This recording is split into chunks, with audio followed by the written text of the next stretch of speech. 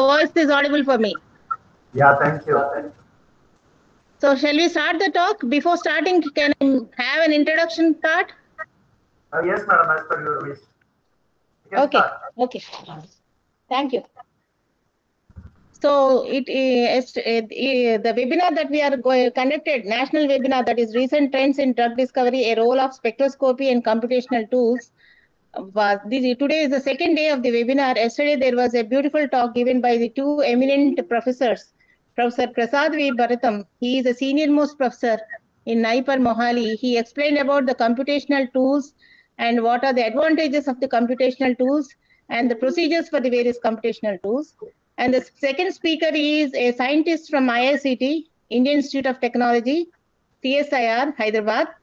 He is Akela V. Sharma. He explained about the principles and applications of NMR spectroscopy.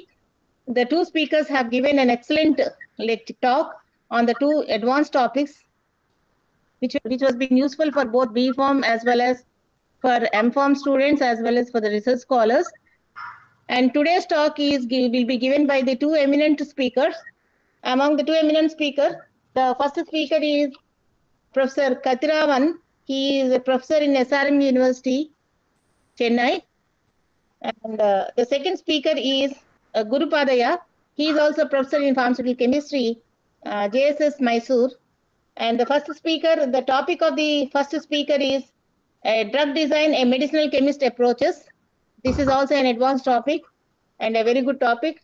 Please listen to it. It will be useful for all branches of uh, pharmacy and farm students. And before uh, giving his talk, let me introduce uh, Professor Kathivaran by uh, his curriculum vitae. He did his, he is at present he is a professor and head the Department of Pharmaceutical Chemistry, SRM College of Pharmacy, Chennai. And before that, he worked in Seven Hills College of Pharmacy, Tirupati as a professor.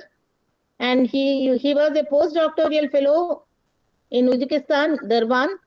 And he was an associate professor in Singad College of Pharmacy, Pune, and assistant professor in Essence College of Pharmacy, Pune. He was a research scientist in Jubilee Chemist, Noida. And before that, he worked as a Singad College of Pharmacy as a lecturer. He did his PhD from Bharati Vidya University, Pune College of Pharmacy, Pune, Maharashtra. And uh, he did his M.Pharm from Samaj College of Pharmacy, Nasik, Maharashtra, and B.Pharm from Tamil Nadu MGR Medical University, Chennai.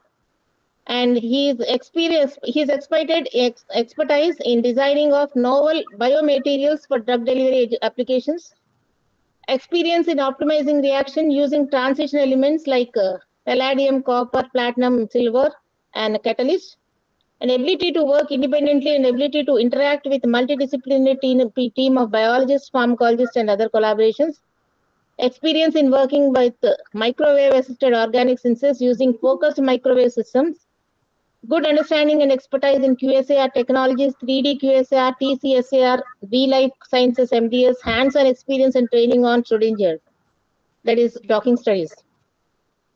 Thorough knowledge and experience of scientific database searching and good oral and communication skills and presentation skills also. And his achievements are, he was an author for Corpus Index journals, and he received a postdoctoral fellowship from Durban, South Africa, Uzbekistan, and he was a senior research fellow from ICMR, New Delhi, and project fellow under University Grant Commission, New Delhi, and junior research fellow, AICTE, New Delhi.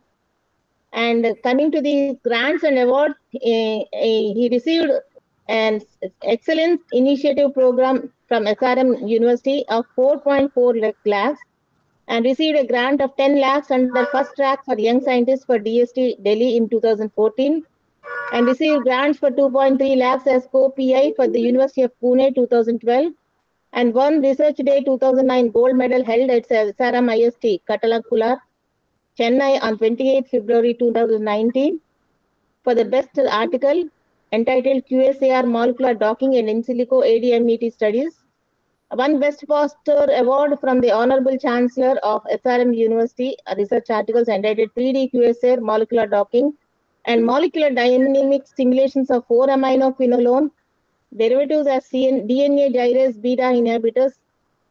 And he won first prize for the oral presentations uh, in the uh, Midcon Institute of Management, Baliwell, Pune, and IGPER Award in 2008, Best Research Project for the year 2005, and Best Post Representation Award uh, in the 57th Indian Pharmaceutical Congress 2005 Hyderabad, and Best Post Representation Award in 54th Indian Pharmaceutical Congress 2002 Pune. And he had about 55 publications and 50 poster presentations. And he had invited talks in national level conference, guided around 25 students at master level and two PhD students completed. He is a brand ambassador for Bentham Science Publishers 2018-19. And he was a co-editor for Journal of Natural Remedies. And this is about a brief uh, CV about Kathiravan. And today, now he is going to give a talk. He's, now he is going to give a talk on drug design and medicinal chemist approaches.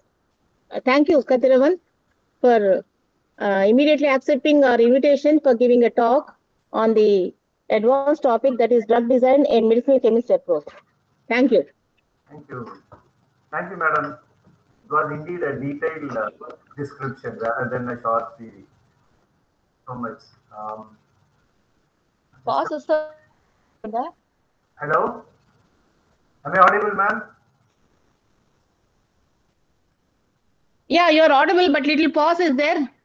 Okay, Yeah. things the net is slow. My- We are adjusting, no problem. You can continue. Okay. Uh, is my screen visible now? అక్కడ speaker పెడతారా నిన్నట్లాగా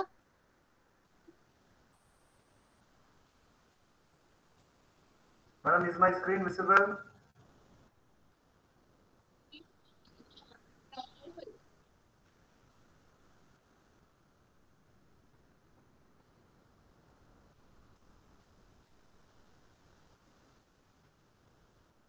Hello? your screen uh, we can able to visible but the- it is not 100% uh, uh, what do you say huh full screen we can able to able to see full slide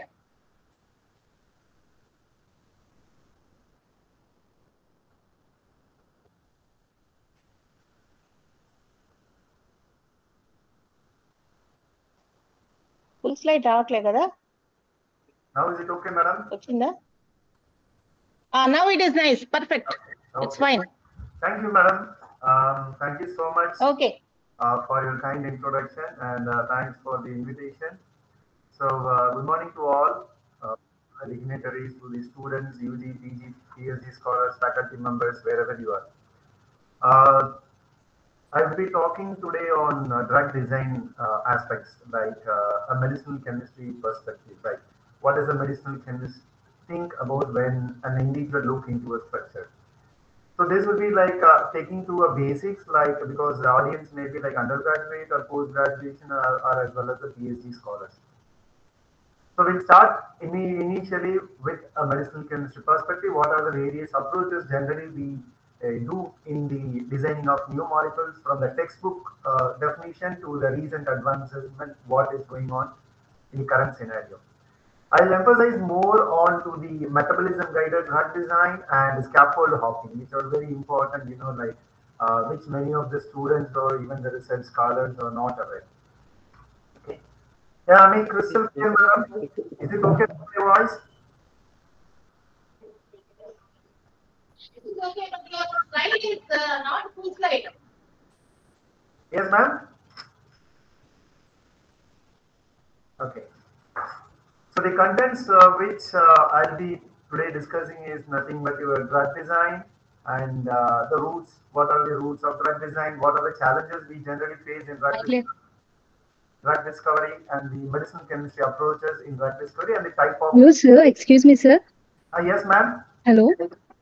Sir, your slide is not uh, displayed uh, fully. Okay. Can you please maximize that? Yeah, I have maximized here only. Yes. Okay, sir. Okay now. Yeah, okay, sir. Thank you, sir. Okay. Thank you. So anything, please interrupt and tell me if the slide is not. Sir, again it was mis- Sir, hello. Yes. Again it was minimized, sir. I don't know what is the problem. Okay. Presentation mode, can you please? Yeah, put it into the presentation. Is it fine now? No, sir. Can you please keep it in presentation mode? Ah, okay, sir. Now it is fine, sir. Just a minute, give me a time. Yes, sir.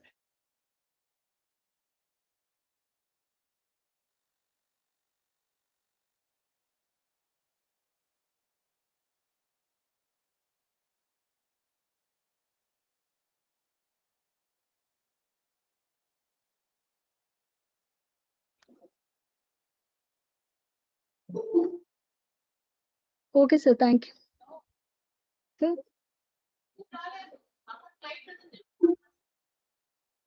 sir, keep it in presentation mode, sir. Yeah, yeah, it's switching, madam. A.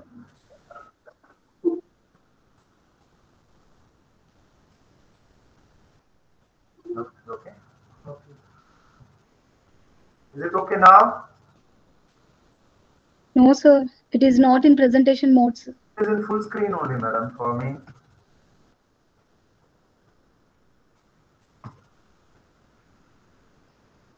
Screen is full for me. The presentation mode only from.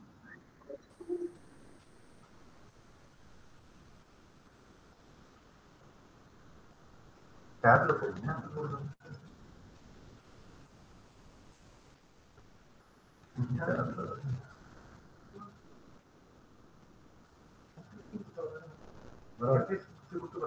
Enter screen not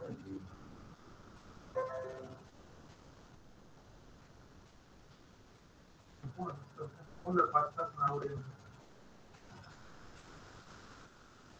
is it visible Yes, sir. now?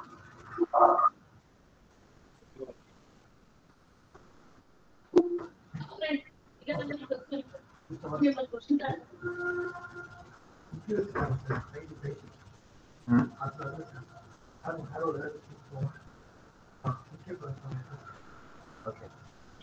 Okay. Sir. You can continue, sir. Thank you. Okay.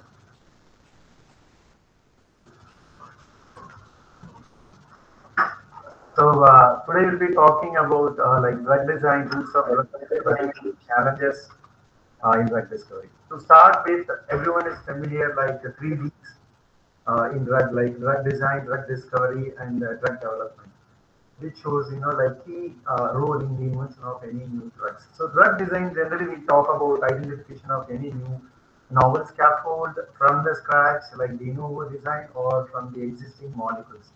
So designing part is that uh, in designing it is mainly considered in those days only the biological aspects, the um, how it interacts with the receptor or protein. And drug discovery is nothing but you you start from uh, an array of chemical library of thousands and millions of molecules. From there you identify some lead and then you try to identify uh, the lead and optimize it, the lead molecule, and then you move to the next level.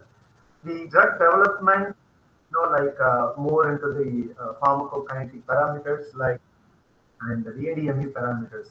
So initially, like uh, three to four decades, it was only the biological activity that was so important than any other parameter. So people used to do a lot of chemical synthesis.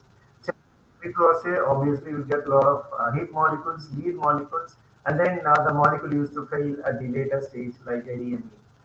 So uh, once there was evolution like uh, Lipinski rule, then people started considering all these physiochemical properties, especially the, the ADME toxicological uh, parameters, how it contributes. So that was also considered in current scenario at a very preliminary level. So when we talk about design in current scenario, we not only design new molecules, we look lot, we put a lot of filters to cover the ADME toxicological properties.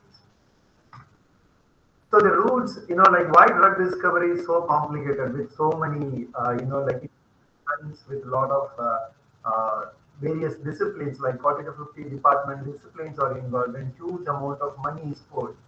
But still, it is always a challenge problem because there is uh, no guarantee that even after investing such huge amount of money, one can come out with a drug molecule. So it involves various discipline, interdisciplinary approaches from pharmacology, medicine, chemistry, organic chemistry, biochemistry, analytical chemistry, dynamic kinetics, even including the IPR properties. So as a scenario, as everyone is aware, uh, this uh, particular process, like drug discovery process, takes around minimum of uh, 12 to 14 years of uh, drug discovery, uh, markedly available drug. So to identify this, uh, initially there will be a basic research uh, where we try to identify a target molecule, a disease condition. Okay, in those days, I'm talking. This is a little bit like an old scenario. How did the drug discovery process was like uh, 20, 30 years, three decades back. So they need a problem like a target protein or disease conditions, then um, they try to do some sort of validation. And then here the medicinal chemist or an organic chemist used to work where they uh, try to produce a library of compounds, then use uh, HPS screening, identify some few candidates. Once the candidates are identified, they move to preclinical development, you know, like the other properties are considered, um, animal studies, and then they file with the INDA, and then go with the clinical development process and file NDA, and then the FDA approval filing process. So it's a very lengthy process. A lot of cost is involved, and there is no, as I told you, there's no guarantee like after 15 years, if I invest this much amount of money, this money, uh, you know, like a high intellectual scientist, uh, there's no guarantee at this end point. So this is how the modern discovery uh, uh, process works, which is a cyclic process. You, go through a 360 degree rotation in all processes. So with the advancement of uh, uh, computational chemistry and synthetic biology and the advancement in the proteomics and genomics, we can identify the target protein receptor gene level. So now what is required is we have to work on these gene level to identify whether this uh, target, the receptor, the enzymes or uh, anything, whichever we have identified is a valid target or not. Because there are a couple of cases like in uh, Mycobacterium tuberculosis when we were working on isocitrate. Okay, that was one of the key enzymes where we were working on 2003 or 4. Then it was uh, identified that isocitrate ligand is not a valid target. Similarly, another example like uh, COX, COX1, COX2, COX2 selective inhibitions, which resulted in many of the cardiovascular uh, problems. So now the primary objective is, though you identify a key biochemical process, target, or protein, you need to have validated. Validate in the sense that it does not, when any uh, inhibitor binds to that, it does not inhibit any other day-to-day -day biochemical processes or pathways. So once you do that target validation, yeah, when you once you block that particular pathway, that enzymes or in that uh, disease condition, you are able to achieve some good biological response.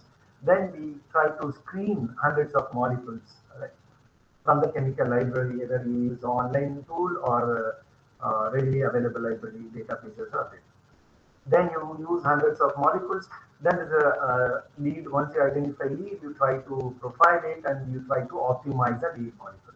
So once you optimize, you go to the preclinical process and then you come to the clinical process. And any problems from here again, it's a cyclic process. It's a, a reverse translation process. So the modern drug discovery process is a cyclic one where everything is interlinked.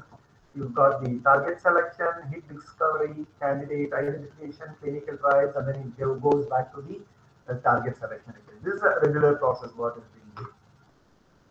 Now the challenge is what happens is we have readily available, you know, like 10 to the more than 10 to the power of 20 drug-like molecules, uh, chemical uh, databases available. Similarly, on the right hand side, you can find like the biological space where you can the protein structure, uh, like 10 to the power of 4 to 5. Okay.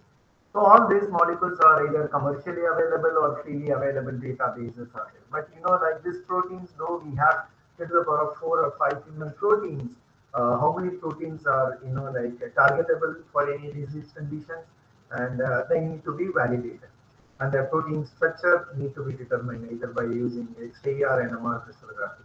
So there is always a gap between the biological space and the chemical space. So this needs to be bridged. That's why we work on the drug discovery process because it is very less. The exploration of the protein structures available in human body is very less, but you have a larger number of molecules. And then you cannot screen all these millions of compounds randomly across all proteins.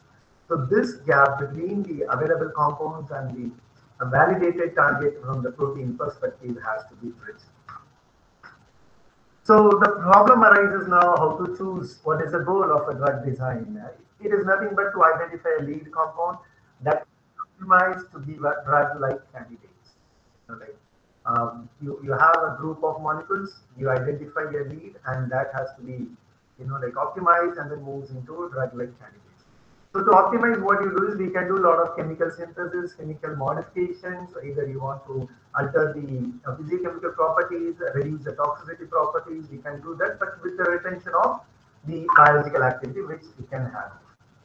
The challenge is, as I told you, you have millions of compounds and uh, throughput, STS, high throughput screening does not allow more than a compound. And this particular screening, like um, STS, is uh, not possible for all type of uh, testing. You know, like all, all type of targets cannot be uh, suitable for STS. And a smaller proportion of compounds are available. And when you talk about uh, screening millions of compounds, yeah, there is always that process. The large scale screening is always an expensive process. So in drug discovery process, there is always a challenge, and there is a lot of other factors apart from, uh, you know, like uh, identifying a lead molecule with a good therapeutic activity. So today, to address, I'll start with the various medicinal chemistry approaches which uh, we use regularly, textbook definitions, and uh, some of the key factors which we'll be focusing on is the uh, metabolism guided drug design and scaffold hopping. So these two are very good techniques. so I'll emphasize more on these two topics today. So the first one uh, is the combinatorial chemistry. So combinatorial chemistry, like uh, as I always say, like it was three to four decades old chemistry, where uh, in those days it was from the chemistry section we were moving to the biology aspect. People used to do a lot of chemical synthesis by combinatorial chemistry, produce hundreds and thousands of chemical library molecules. So randomly those molecules will be tested on n number of enzymes without any proper logic. So what it does is, as I told you in combinatorial chemistry, when you have three fragments like three substrate A1, A2, A3, and B1, B2, B3, I can produce like at least six different types of compounds. So randomly, what is done in drug discovery process? They all these nine different compounds. So the the possibility of finding a hit or lead molecule from this process will be very, very, very less. So the success rate will be less. However, you can construct a lot of uh, screening compounds from a basic uh, building block materials. So this is nothing but an array of chemically diverse compounds uh, through systematic, repetitive and covalent bonding linkage. And this is, we don't use now this era where we move from chemistry to biology. But now what we do is we identify and validate the biological protein, the target protein. From there, identifying the enzyme site, active site, we go back to the synthetic molecule. So it's a reverse of what we did around uh, three to four decades back in the combinatorial synthesis. The next one is the regular isosteric replacement. As the name indicates, uh, isosteric replacement generally discusses about, you know, like uh, uh, when you have a molecule, we try to replace the molecular shape or size, uh, try to reproduce its own valency electrons, electronic shape. As I always mention that a molecule and receptor, when they're interacting, it will be like a magnet and ion. As we recognize the molecule is having carbon, nitrogen, oxygen, fluorine, etc., the body, the receptor does not recognize.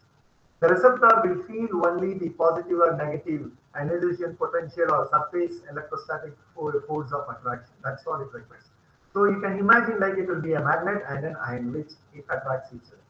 So when you're able to reproduce the similar outer valency cell electron property by substituting with some other atoms or groups, then we call that as an isosteric replacement. So that I have similar physical and chemical properties. But once you replace those atoms or groups, and then when they are able to give a similar biological response, then you can call them as the bioisosteres. Okay. So isosteric replacement is nothing but atoms or groups or exchange of uh, atoms. Once you screen, once you get a good biological response, equivalent to your parent molecule, you call that as the bioisosteres. So the bioisosteres' main objective is to produce similar biological properties relevant to the parent molecules. So in this, we do not touch the basic scaffold. However, you can classify the isosteric replacement in the textbook like mono, di, equivalent, and then cyclic, cyclic, uh, cyclic equivalent. There are a lot of uh, uh, aspects which can be covered. So one such example is like, you know, like aminopyrin, you know, like isosteric replacements where this was converted into a, a carbon uh, center where the carcinogenic effect was reduced in this aminopyrin.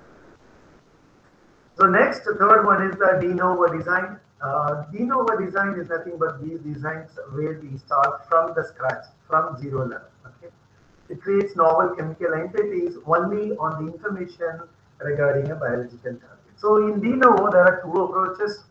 Uh, generally, we can consider like ligand-based and structure-based design. We can uh, even put into uh, as a subsection of these two de novo design.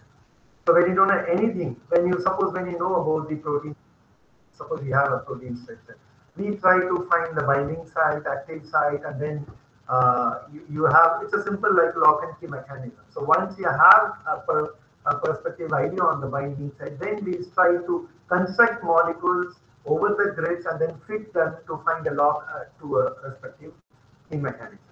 So in this, you can again divide into ligand-based drug design, structure-based drug design as the name indicates these are familiar technologies, so I'm not talking more onto that. Ligand means once you know the uh, the scaffold is good, but the protein structure is not determined. On the, the other side, when the protein structure is done, we call that as a structure-based drug design. Okay, when whenever there is no protein structure determination, we do with the homology type of model.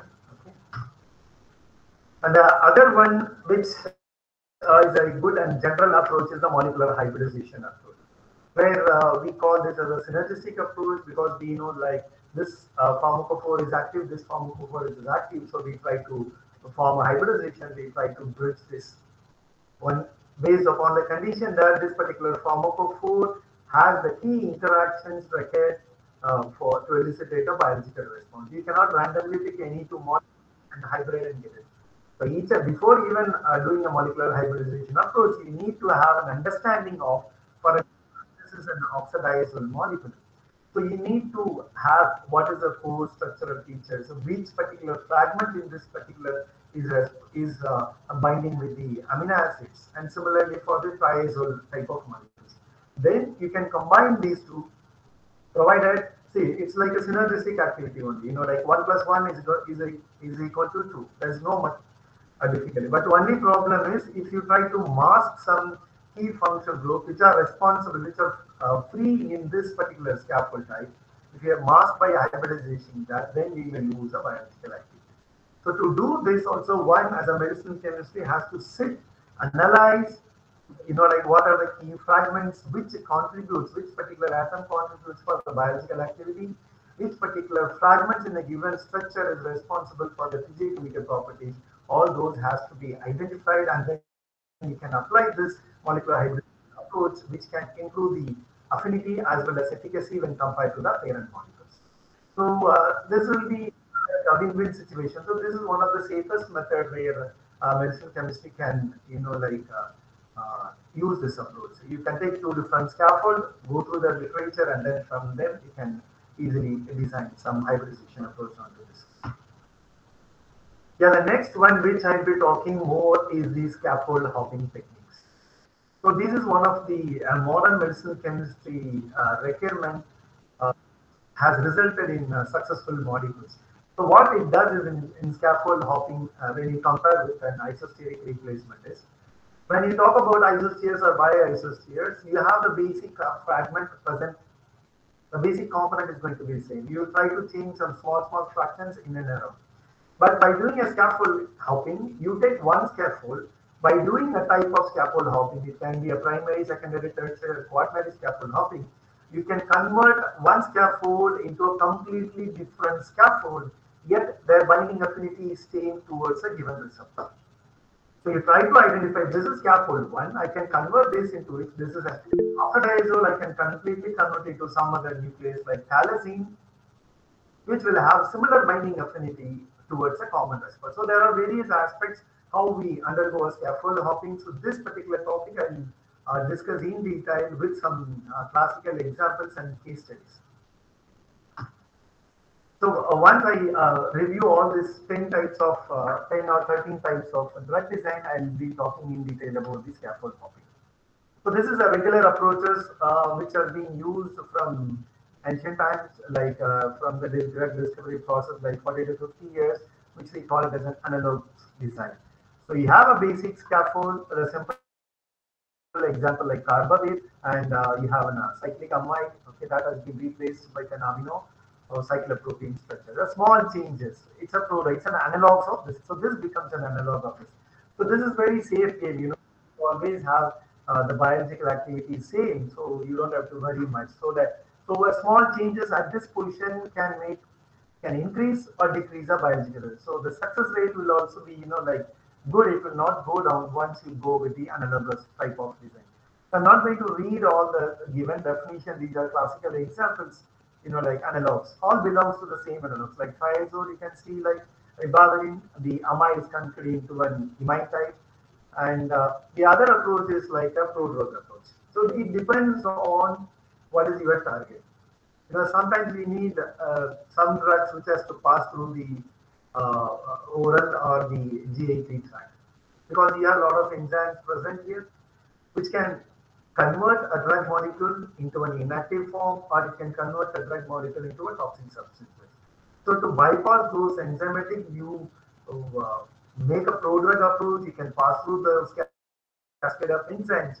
And again, you need a specific enzyme which can break down or convert a prodrug into a drug molecule. So all these are very familiar and regularly used approach in medicine chemistry, analogs and prodrug design. More or less, uh, it will be related to each other.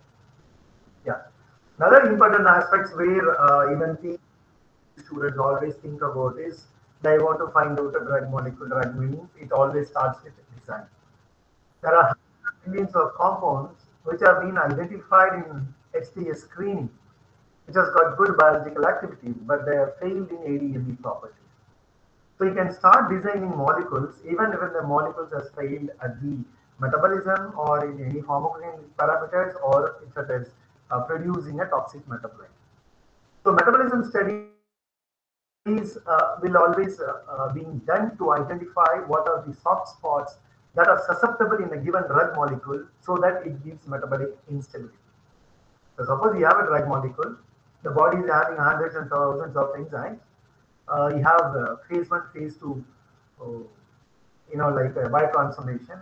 So phase one, what whenever a drug is taken by a human body, what the microbes things consider them as an external molecule. They don't want it basically to survive in the body.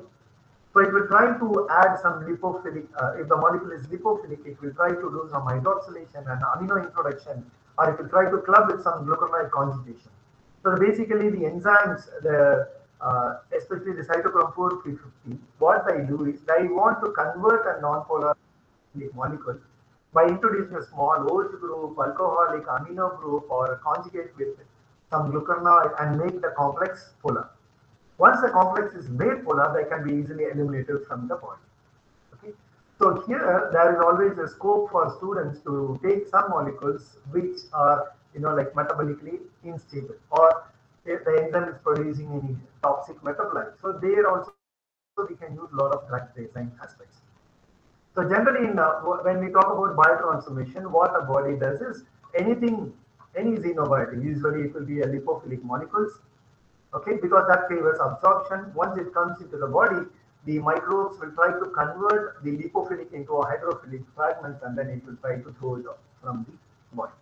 And this is an evolutionary process you know like we can't do anything with this. So even if you find a new molecule for this over a period of years the microbes are going to evolve so they are going to find out some other way by which they can try to throw the molecules. So it, it, it is not a permanent solution it's a transformation process. And sometimes, you know, like uh, the biotransformation can lead to a toxic metabolites, and uh, that can cause, uh, you know, like teratogenicity or other toxic substances. So when we, so when, whenever you design some molecules, you need to have, uh, you, you have to understand what is your target, what is your appropriate pathway, and what happens to the molecule when you subject it to human body. You have hundreds of enzymes then it is then it is know, because I talk about cytochrome P450 because 95 percentage of the drugs you know go through that phase. So in when you when uh, the drug molecule is affected by the cytochrome P450, there are a couple of shortcuts or ways by which we try to manipulate, increase, or um, uh, increase the metabolic by doing a lot of uh, small small techniques. Also, one such technique is reducing the lipophilicity. Okay, we need to have a lipophilicity of a molecule so that it gets absorbed, but the microbes try to convert them into hydrophilic and then uh, throw it away from the body. Okay, and then we can manipulate like the steric as well as the electronic factors, and sometimes we can work on stereochemistry. If it is a R configuration where an enzyme can do a uh, an aromatic para hydroxylation, then you can convert that into the S isomer. So it all depends once you read. Once you get a good biological response, once you go for the metabolic studies, suppose if there is a problem, try to identify a problem. What is the problem? Where it is doing uh, the hydroxylation, where it is making the compound highly toxic or making it more highly unstable making it more polar. You have to try to identify those parts, whether it is a lipophilic because enzymes will try to look for very soft spots present in the molecules so that they can do their own chemical reaction. So enzymes can do a lot of organic uh, biochemical transformation than what we do in the laboratories. Okay. The examples what I quoted here, you know, like I will discuss it in coming slides, like introduction of a methyl group, fluorine, and then the uh, metabolic stable structures. So one of the tactics to modulate the metabolism in cytochrome P450 enzymes. I'm talking about C20 enzymes only you can try to lower the lipophilicity of a molecule. You have to identify. So when you lower the lipophilicity of a molecule, we ensure that we do not disturb the fragment which is responsible for biological activity. The other way is modify the site of metabolism. Okay. If, if this is your aromatic ring structure, if the enzyme is doing hydroxylation, you can block that site. You can uh, occupy the para position with some other atoms or smaller groups so that it is not uh, available for the enzyme to do some metabolic pathway. Then incorporation of fluorine to make the molecule more polarizable. And the reason one is like uh, incorporation of deuterium, an isotope exchange with a hydrogen. So these are four tactics generally which you can use when the drug molecule fails at the metabolism by the cytochrome P450 enzyme. Either you reduce the lipophilicity, modify the site, incorporation of fluorine, and the incorporation of the deuterium structures. So you see, there are some couple of examples which I took from the uh, readily available papers, you know, like uh, uh, which can give you some idea about how these factors influence the uh, D-half as well as the Cmax clearance.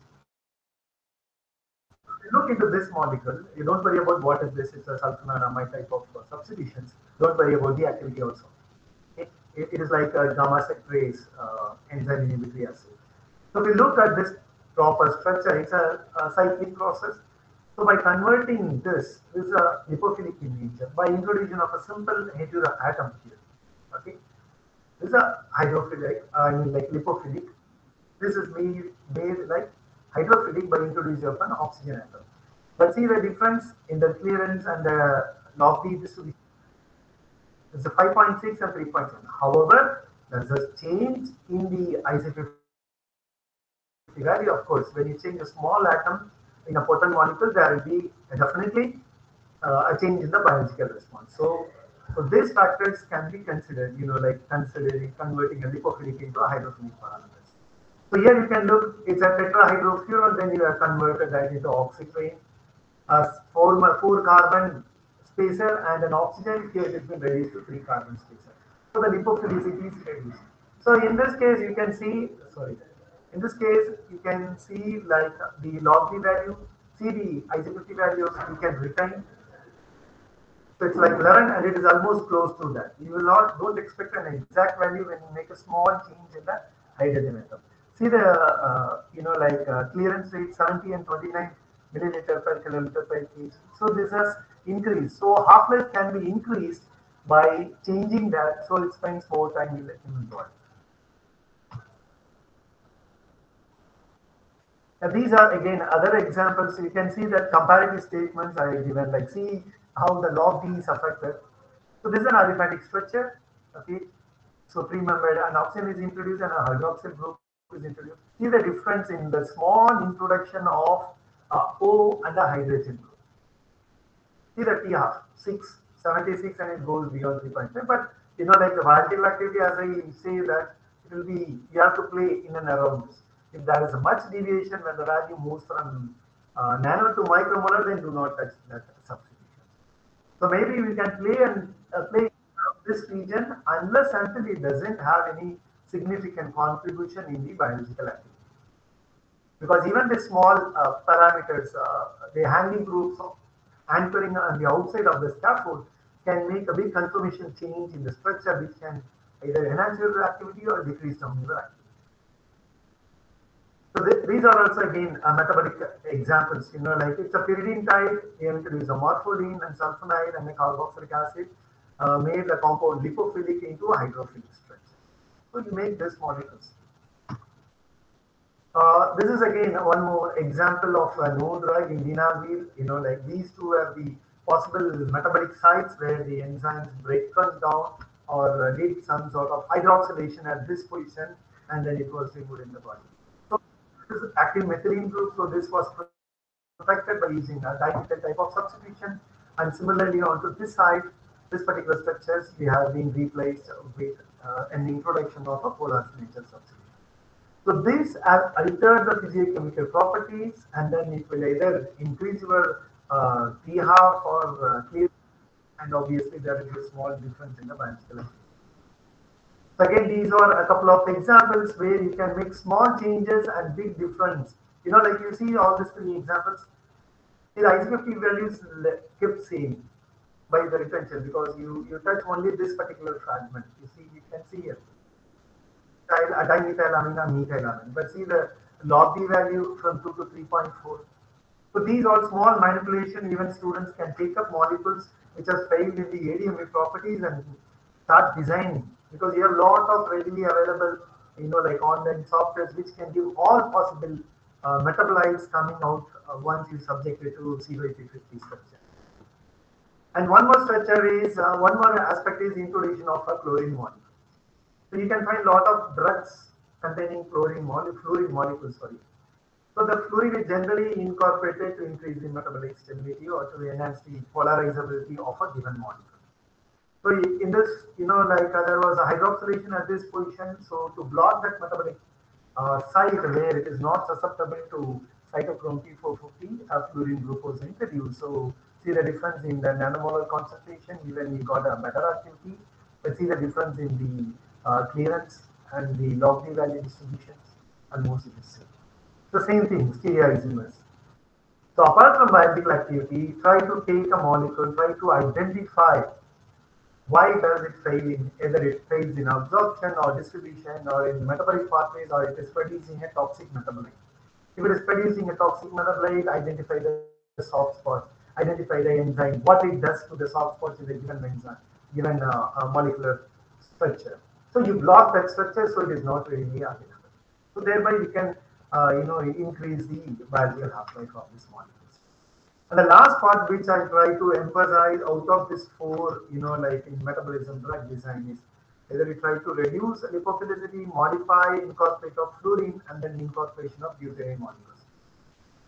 We know that uh, uh, deuterium is an isotope of hydrogen. Okay.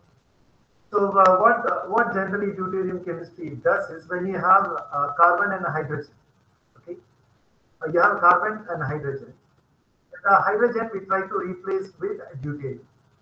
So the enzyme when they are uh, uh, open to CYP enzymes, the enzyme can recognize or break the carbon hydrogen bond quite easily when compared with the carbon deuterium. So the time taken for the enzyme to understand, to react and to break the carbon deuterium bond is more. So the drug concentration can be reduced, the half-life can be increased for these type of drug molecules. However, this is uh, one of the recent techniques, but the problem with this technique is also the stability of our molecules. Because deuterium, as you know, like you'll be using in chlorine NMR, like D2O exchange CDCF3 or D6. The problem with that is it is highly unstable. CDCL3 will be getting converted into CHCl3, the deuterium. The same problem is with the deuterium chemistry. You know, like uh, US FDA recently uh, approved deuterobenzene, one of the deuterated drug, first deuterated drug which is available in the market. So this is one good, uh, you know, like uh, pathway by which we can inhibit the metabolic instability. Even we have worked on uh, the drug molecule like um, metindazole, you know, like it's a very uh, long old drug, first line therapy, uh, you know, like for the treatments, but it produces one of the toxic metabolite, what we call it as an acetamide, because they are susceptible to oxidation, then gluconide conjugation and hydroxylation. So what we try to do is uh, um, we have a Mintate group. So this was a position where the enzyme was doing hydroxylation. So the CS3 was converted into CS2OH. So to block this, what we try to do is we try to convert the CS3 into CD3. We exchanged all the three protons with the deuterium. However, we, we are at a very initial level of identifying, we are able to get the similar biological activity, but how the metabolic pathway is going on is still, uh, we are under the investigation. So even when you replace the CH into CD, the enzyme uh, finds it difficult to recognize to break this bond, and that is enough for us to uh, reduce the drug concentration. And even this deuterium concept can help us in addressing a lot of uh, um, antimicrobial resistance. Uh, because you know when you have a drug molecule, you have carbon, hydrogen, nitrogen, oxygen. Uh, involving the micro uh, microbes present in the human body is also evolving. So they know whatever atom, whatever atom present in accordingly they are going to do their biochemical transformation and throw it away from the body. Now when you put some new atom, new like an isotope B, which the microbes are not available. So it is going to confuse the microbes, it is going to take some more time in their evaluation process and the bond also, carbon deuterium bond is tough to break when compared with carbon hydrogen bond. So that is how we have to optimize and play. But as I told you, the biggest drawback with deuterium chemistry is it is highly unstable. That may anytime, you know, like reverse back to the original proton molecules. Uh, am I audible?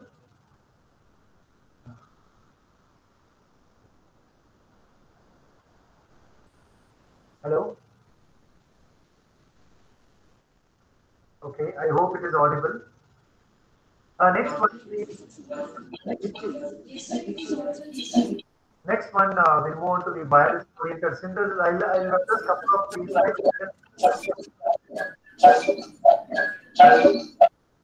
And then we'll move on to the scaffold hopping. So biology oriented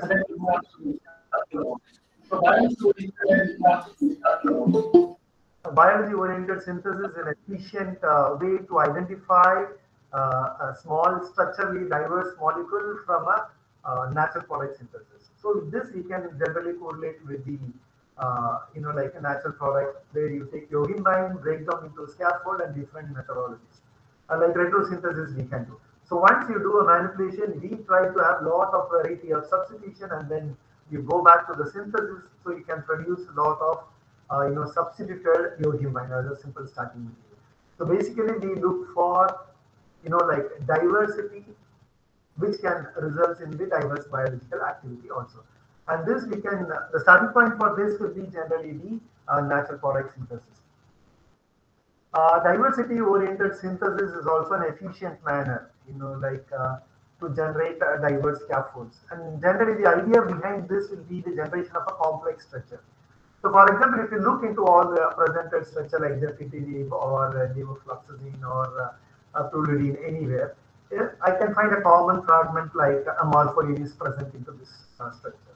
So now I try to identify morpholine as a basic scaffold. I try to uh, find a lot of substitutions in and around molecule to build a complex molecule with wide range of substitution on all positions. For example, if you look down, so from here I identify like diversity. Here we need it, it's from the uh, chemical synthesis to the biological aspect, from the old uh, scenario method. So you look into the morpholine structure here. So we try to construct a lot of um, substitutions in and around morpholine. Either we try to form a bridge one, sorry, we try to form a spirocheto or we try to form a ring annulation type of uh, structures. Like, you know, once we identify a morpholine, we try to do a cyclization followed by a number of reactions where we use an uh, aminoaldehyde combined, it can be combined with an 1,2-diol, where you get uh, these type of examples, or uh, dimethoxyacetaldehyde with uh, an amino acid uh, structures, or you can use an amino dimethyl acetal with an cyclic acetal. So if you look, we got a totally, you know, like diverse compound having centralized morpholine as the basic scaffold.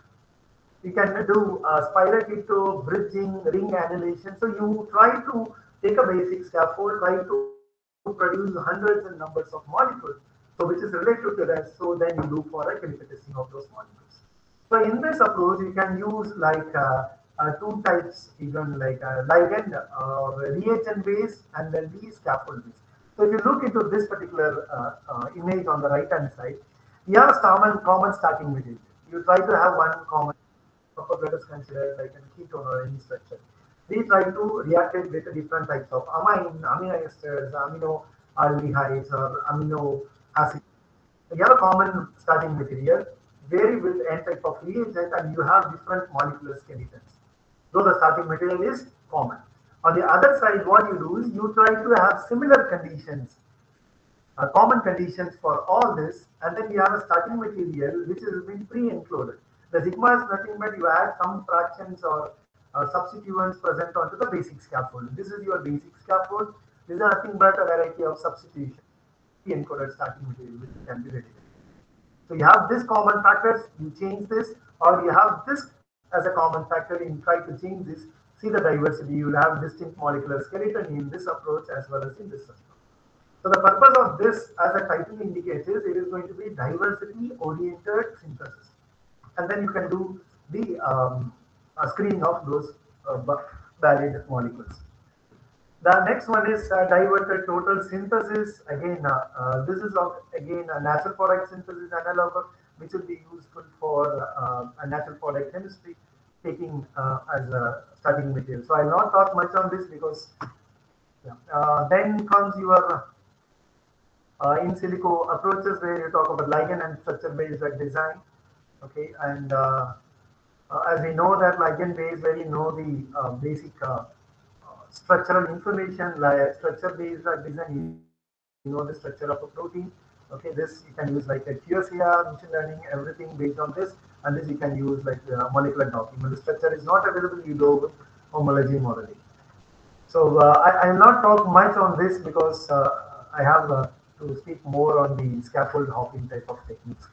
So for ligand-based uh, techniques, you can use uh, in recent days. It was initially the Corwin and where we started with the QSAR model, then it went to 3D QSAR, then it went to RD Kramers, then 4D, 5D. Till date, we are working on 6 to 7D QSAR And now it has the, the paradigm has completely shifted from QSAR into machine learning approaches. What I do is generally break down the molecules in all possible fragments, try to get some matrix type of information, and then uh, I try to correlate those basic fragmented informations uh, with the readily available database. So when the fragment is present, it is uh, believed that the newly identified scaffold can give a similar biological response.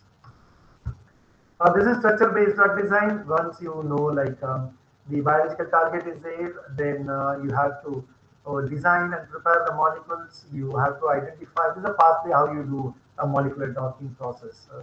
Select then the binding identification, docking score. So once it is done, experimental part. So I'm not going because nowadays everyone is aware of uh, the molecular docking structure-based drug design and ligand-based drug design.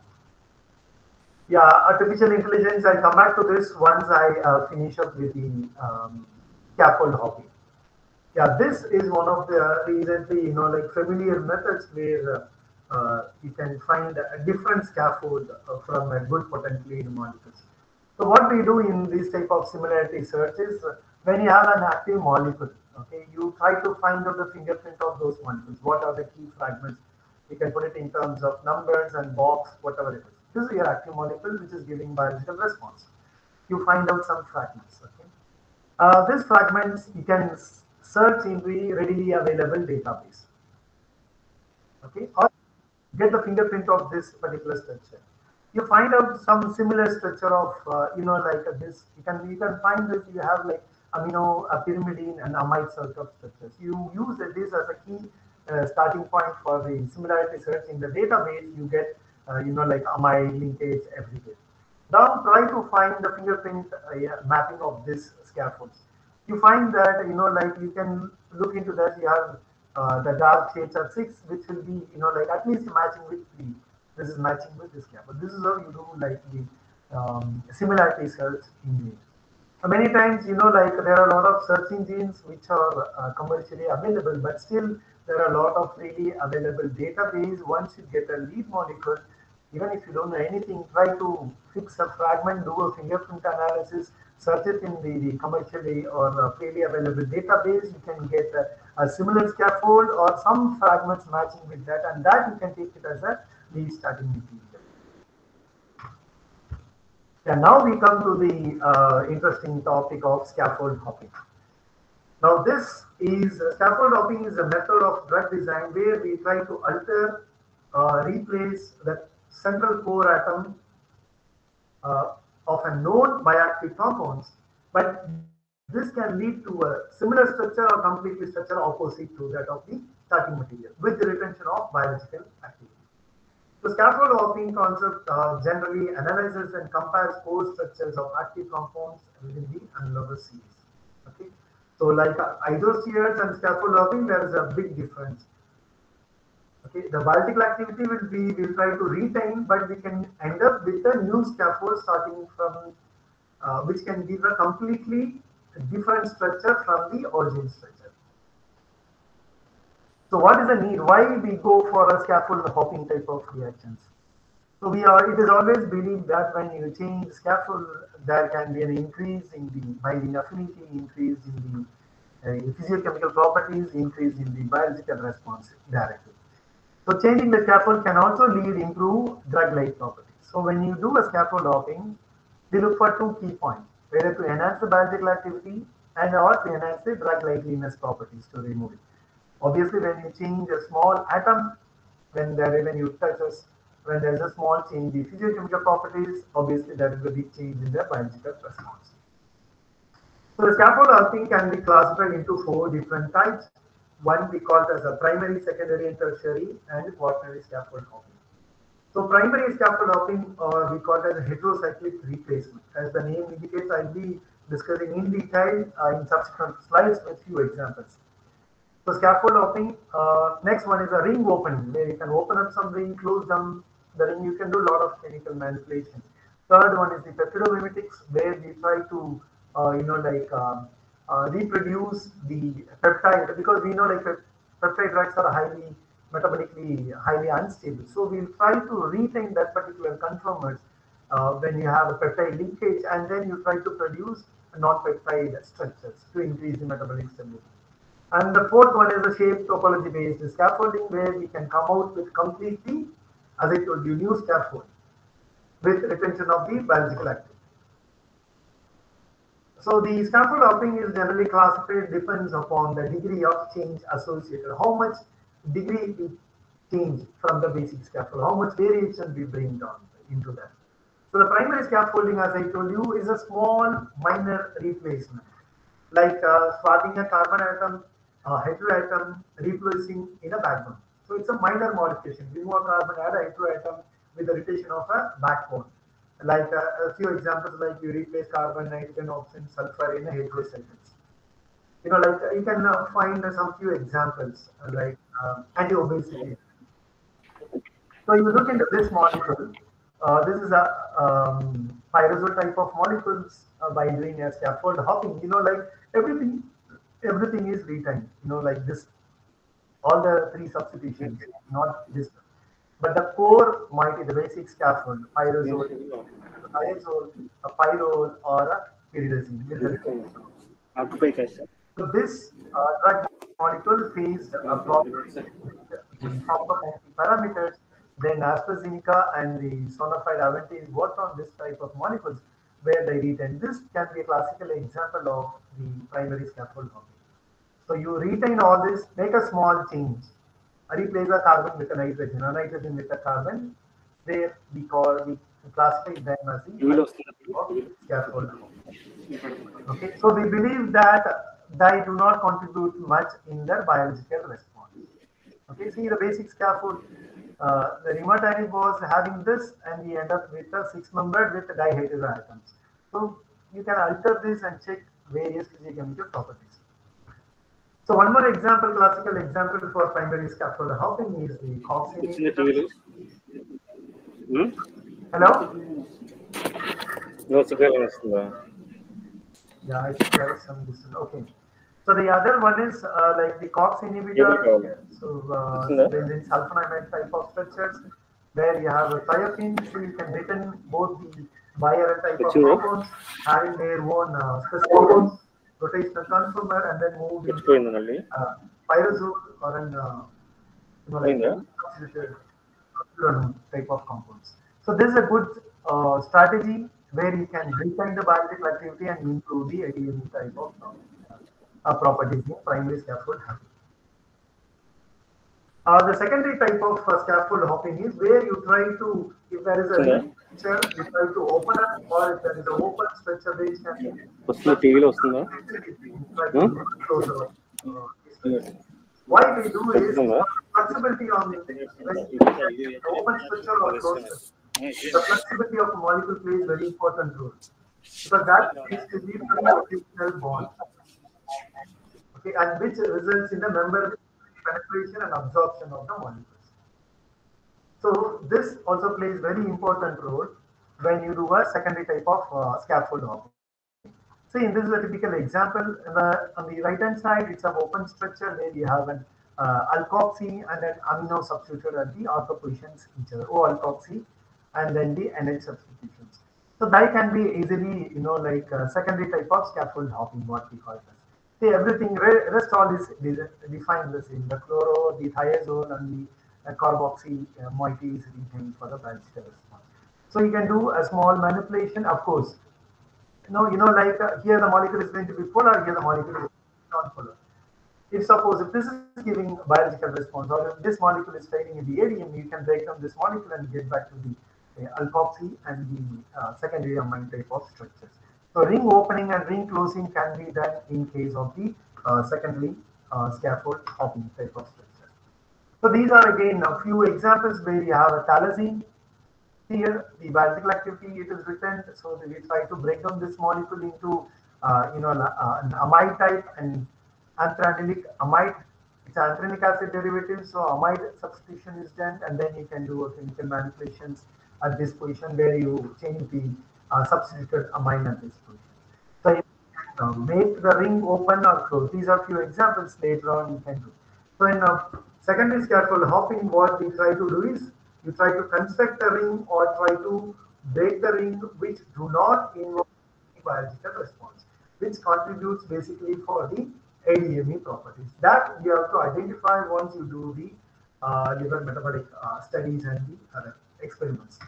So you cannot directly take any molecules and do a scaffold hopping. You need to have a thorough understanding of each and every atom and fragment present in the molecule before going into the uh, designing of the molecule using scaffold hopping.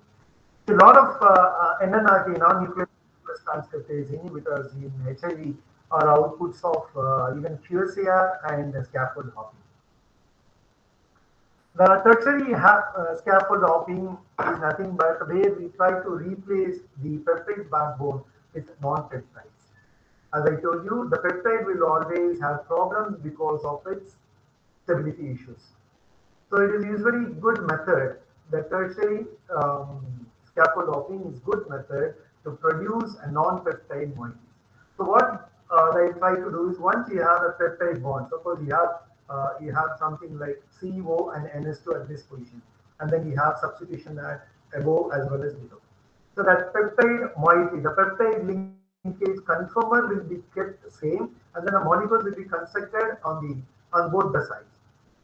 So it becomes like which gives better stability and the conformation records for the biological activity will be retained because that we capture the molecule in the active peptide conformations. Okay, and this why we need these type of drugs is because a lot of uh, endogenous substances, hormones present in the body when they uh, when there is an imbalance in the body that leads to a lot of disease conditions.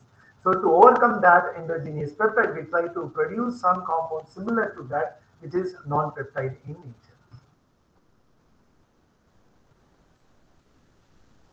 Yeah, a simple example like uh, uh, one example where we try to do convert this into a peptide form is gefitinib, uh, an epidermal growth factor receptor uh, tyrosine anti-cancer drug is here, uh, 4-aminoquinozoline, and uh, the fluorine and chlorine. The fluorine plays very important role because this was introduced increase the polarizability of a molecule. So anywhere in any drug molecule, whenever a fluorine atom is there, just check whether the fluorine is present for biological response.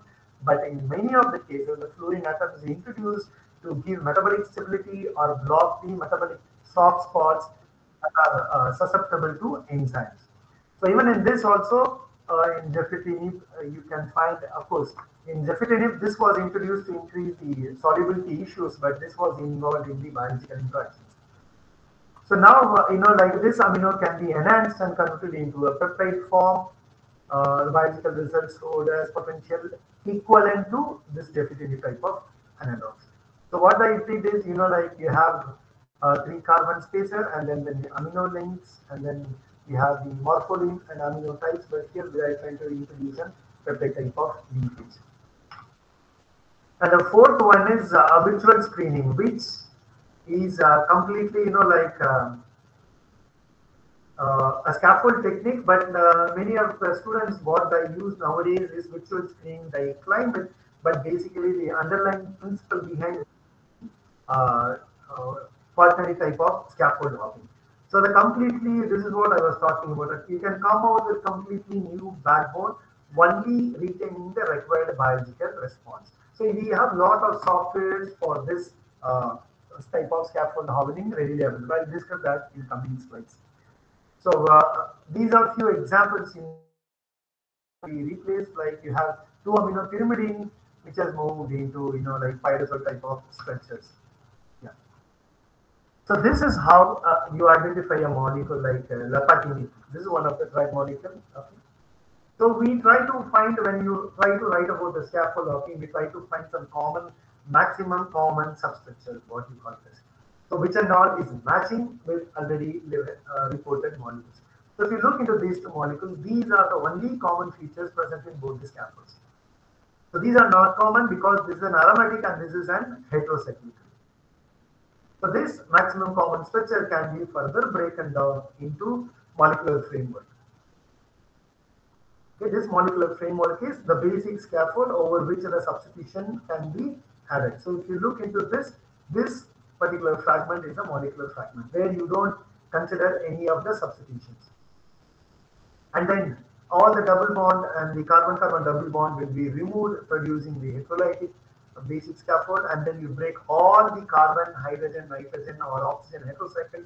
We come back to the basic graph frame, framework type of molecules. So from here we'll try to find out the fingerprint regions or we'll try to uh, you know find lot of descriptors uh, matrices, values based on that, and then we try to find uh, similar values from the readily available database.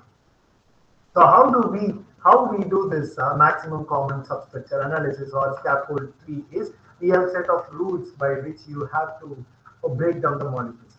Like you have studied like more about the synthon approach where you break down a final molecule into a small linear fragment. Similarly, in scaffold tree you can there are certain set of rules which uh, you can use to break down the molecules uh, to construct a scaffold tree what we call it as a maximum common structure. So when you have common structures what uh, which should be given preference? You have a set of rules like uh, uh, you remove three membered heterocycles first then um, uh, when you have more than like 11 members 10 or 11 member do not touch that remove rings first by the longest, which has got the longest uh, acyclic linker chain. And when you have uh, spiroketo, linear, fuse, you try to retain the, uh, the type of conformation, and then you can alter the fuse to bridge the ring system. And when you have bridged and spiroketo, you give preference to the bridge system, try to break down the spiro ring, and you can easily remove ring 3, 5, and 6, which can be uh, you know manipulated at the last level and uh, removal of these. These are set of rules which is uh, you can uh, get through these set of rules in the um, I met a lot of review papers. Even I took it from the review papers in JMedChem. So they have written set of rules like uh, there are rules for synchrone approach. Similarly, you need to read this approaches. So when you do a scaffold tree analysis, maximum substructures, and then you break down, and then you go back from the basics to the uh, reverse, can completely get a different scaffold. So these are the levels how you break down. They uh, looking into this uh, examples, these rules and regulations, you can break down. So it's like a synchrone approach, you know, like you break down this molecule into basic fragments. Okay. So now what you can do is you can find this as a fragment. If you do uh, the, uh, you have some fingerprint region. So that fingerprint region you can uh, match with any of the database. You get, uh, you know, some scaffold which can have nitrogen in the the aromatic ring structure and a furan structure, but that can be completely different uh, heterocycle. And then you can bridge it, go back to the starting with the retention of a biological activity. It's, um, uh, you know, like uh, some things when you are aware of the um, um, synchrone approach, breakdown molecules, but you need to know these rules which to break, when to apply primary scaffold hopping, when to apply secondary, tertiary, or uh, quaternary type of scaffold hopping. Yeah, these are some of the you know like uh, examples uh, in the library given library how do you select how molecules uh, are biased. Suppose you consider like uh, 100 molecules are present in this particular library and each represent 10 by looking into the structure you know like i can say that all 10 molecules are assembling there uh, belonging to the same scaffold. We always try to find diverse scaffold. You know like if, if you see here like if this is a 100 molecules database 90 molecules uh, if it is considered if it is given in this ring all 90 molecules are belonging to the same scaffold. So it's better to have a scaffold completely different. We need not to have a cluster of molecule in drug discovery yeah it was good the cluster of molecules the homologar series the continuous series was good when you do a QSAR type of design now when you use like a lot of other techniques like machine learning deep learning the uh, machines, the algorithm requires diverse of scaffold. Otherwise, it will become like cluster. So it was good when we used in ligand-based drug design, we need to have cluster. It has to be within the scaffold. But now the era has changed. We need to have a diverse of scaffold. Then we can put and pull a lot of small fragments and uh, identify what are the key requirements for the biological response. So this is how uh, the CATS is. There are a lot of softwares, you know, like uh, CATS, keywords. Uh, you know, like series 2, insight, they, they even give some basic uh, fragments like fingerprints. So suppose if you look into this molecule, this is a basic uh, carbon graph framework, okay? So this is how the, the system recognizes the molecule. It doesn't care what type of nucleus, it is an aromatic, amine or fluorine. So once uh, the system, the structure is fed into the system, it is only carbon, hydrogen. It doesn't bother. So from there, it will try to note down what what uh, are the aromatic centers. So like you can see one, two, three, four, five, six. Six aromatic centers. Six aromatic centers are there. Then six aromatic. Six aromatic centers are there. This is nothing but an acceptor, hydrogen bond acceptor. So it will consider this as a different point. And this is a hydrogen bond donor. And rest all of these substances are lipophilic imines. So that's why it is lipophilic. So this is how the molecular framework is constructed. Then there will be given a combination of uh, like donor plus uh, uh, aromatic donor plus lipophilic structures, and then you can add up and put these values. From there, molecular descriptor scaling, will So that fingerprint region, we try to map with some other database, and then you can get back to the original model. So this is just one uh, method by which uh, descriptor scaling is done using CAD software. So this is how uh, this is uh, you know like a SEINS uh, descriptors what it is and how it is broken down into the reduced ring system. So this is what they need. So they can replace this particular ring with some other structure matching with it and then construct back to the original model. So once you do that, this particular scaffold will be completely changed, giving rise to a different scaffold. The other uh, software like uh, keywords, as I told you, you can use uh, for the um, uh, quaternary type of scaffold hopping. What it does is it considers these two as a vector uh, representation. See, all these images I have taken from the reported drug discovery today. What it does is, if you look into this uh, structure, so you have R1 and R2 here. This is a query molecule. You try to identify a potent query molecules, okay? From there, this tables will try to identify the vector direction. Like it recognizes R1 and R2 in two different directions, R1 and R2. So from there, it will try to identify the bond distance and bond angle.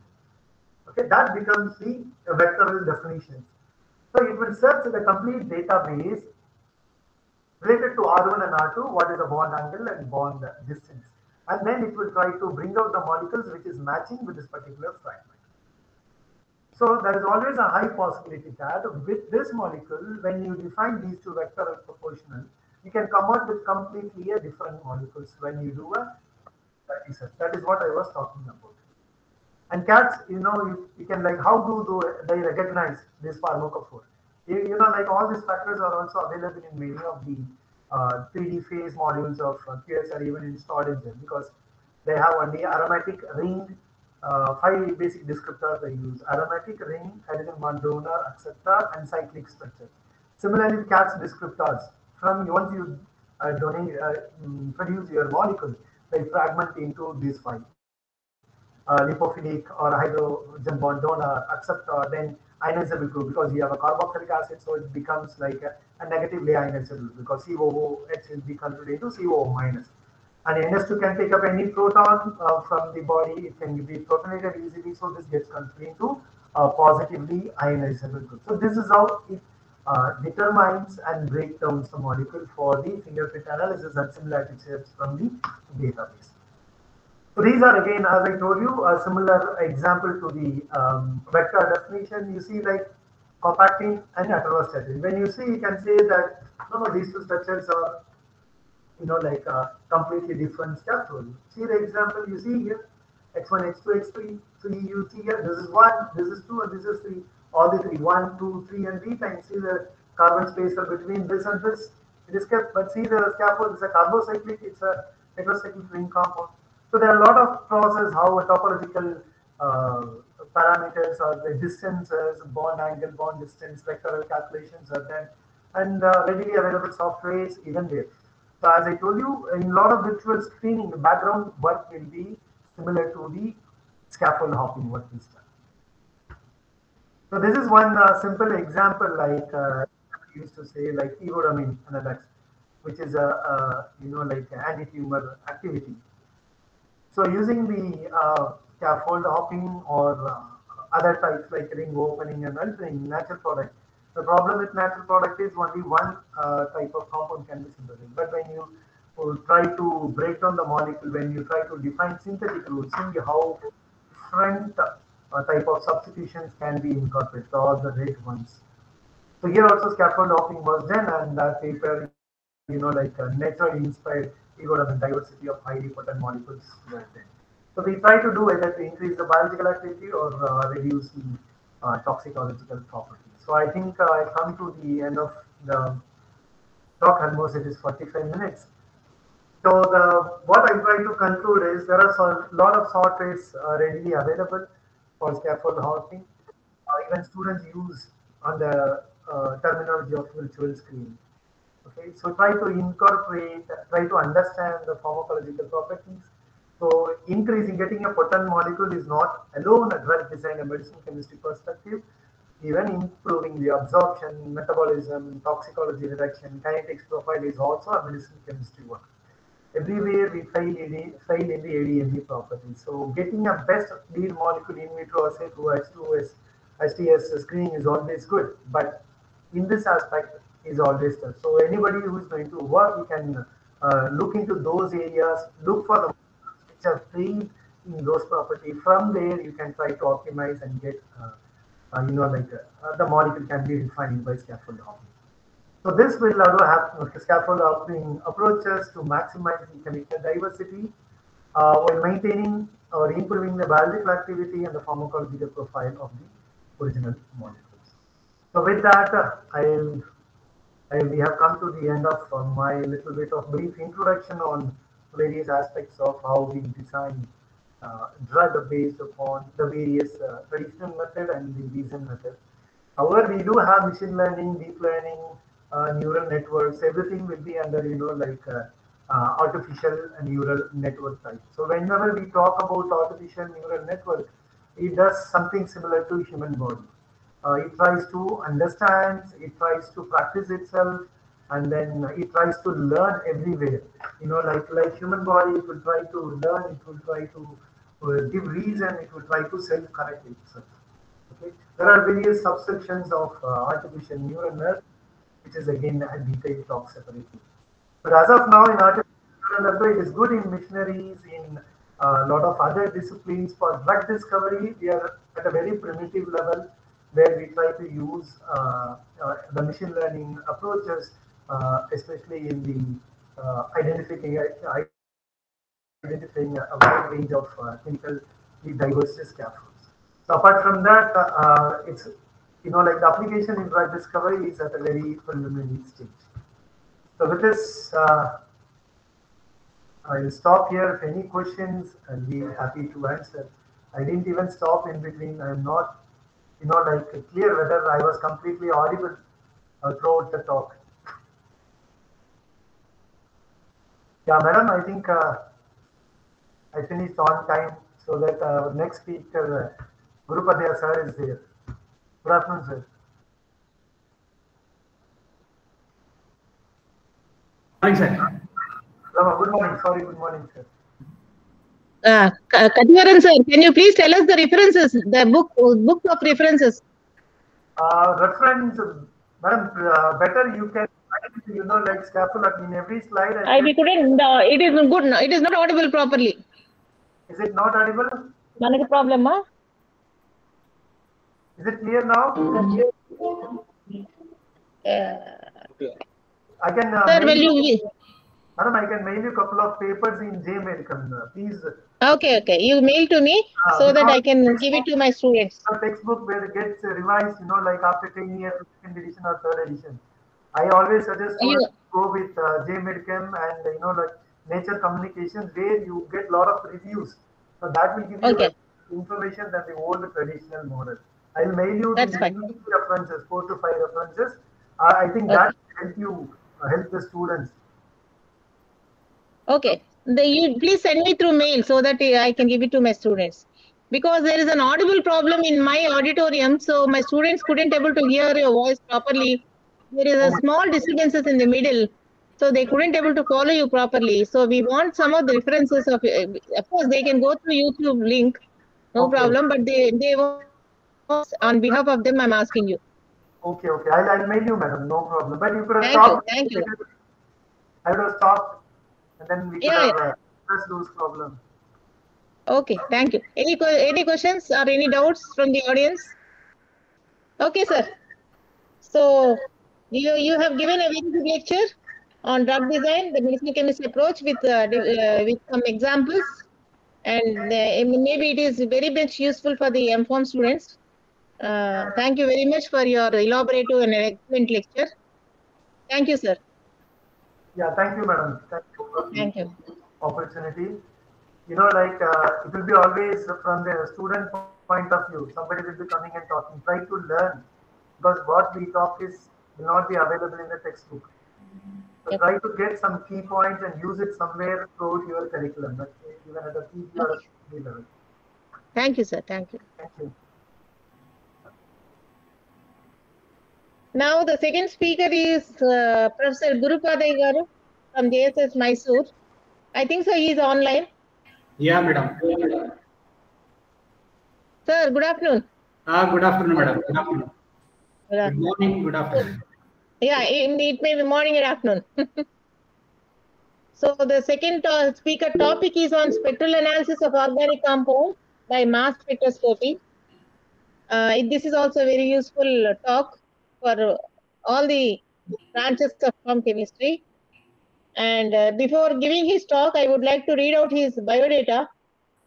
Uh, Professor uh, Gurupadaya, presently he is a professor, Department of Pharmaceutical Chemistry, JSS College of Pharmacy, Mysore.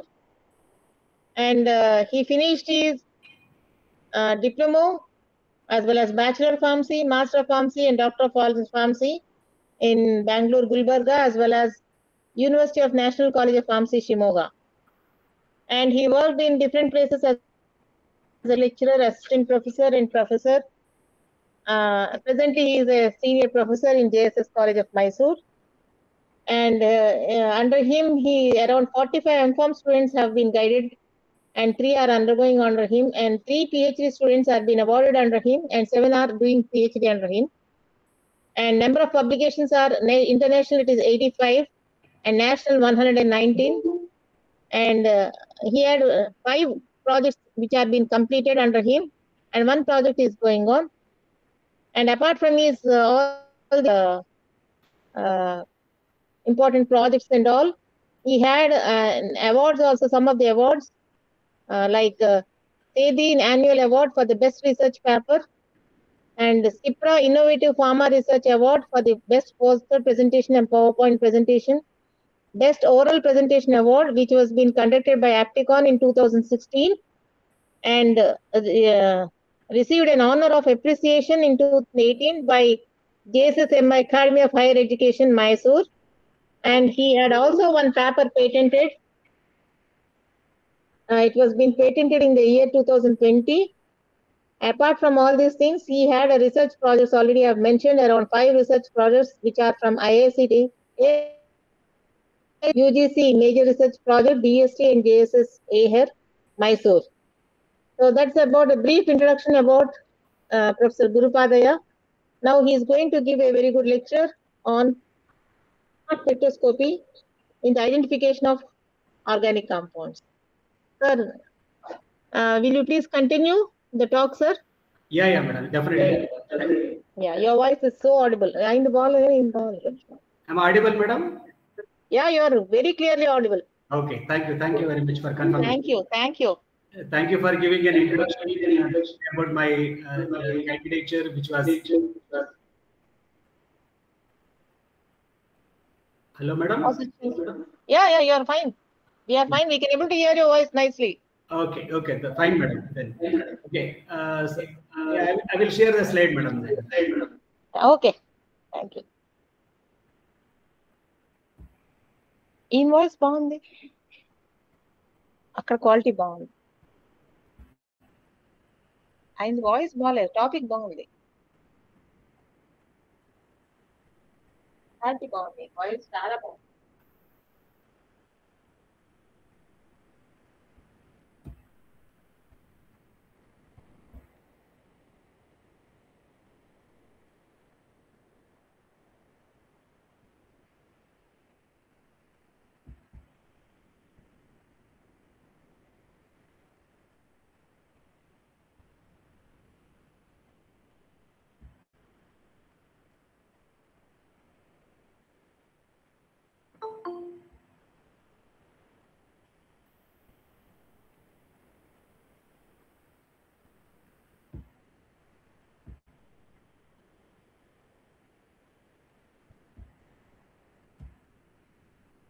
Madam, slides are visible. Please confirm me. Hello? Hello?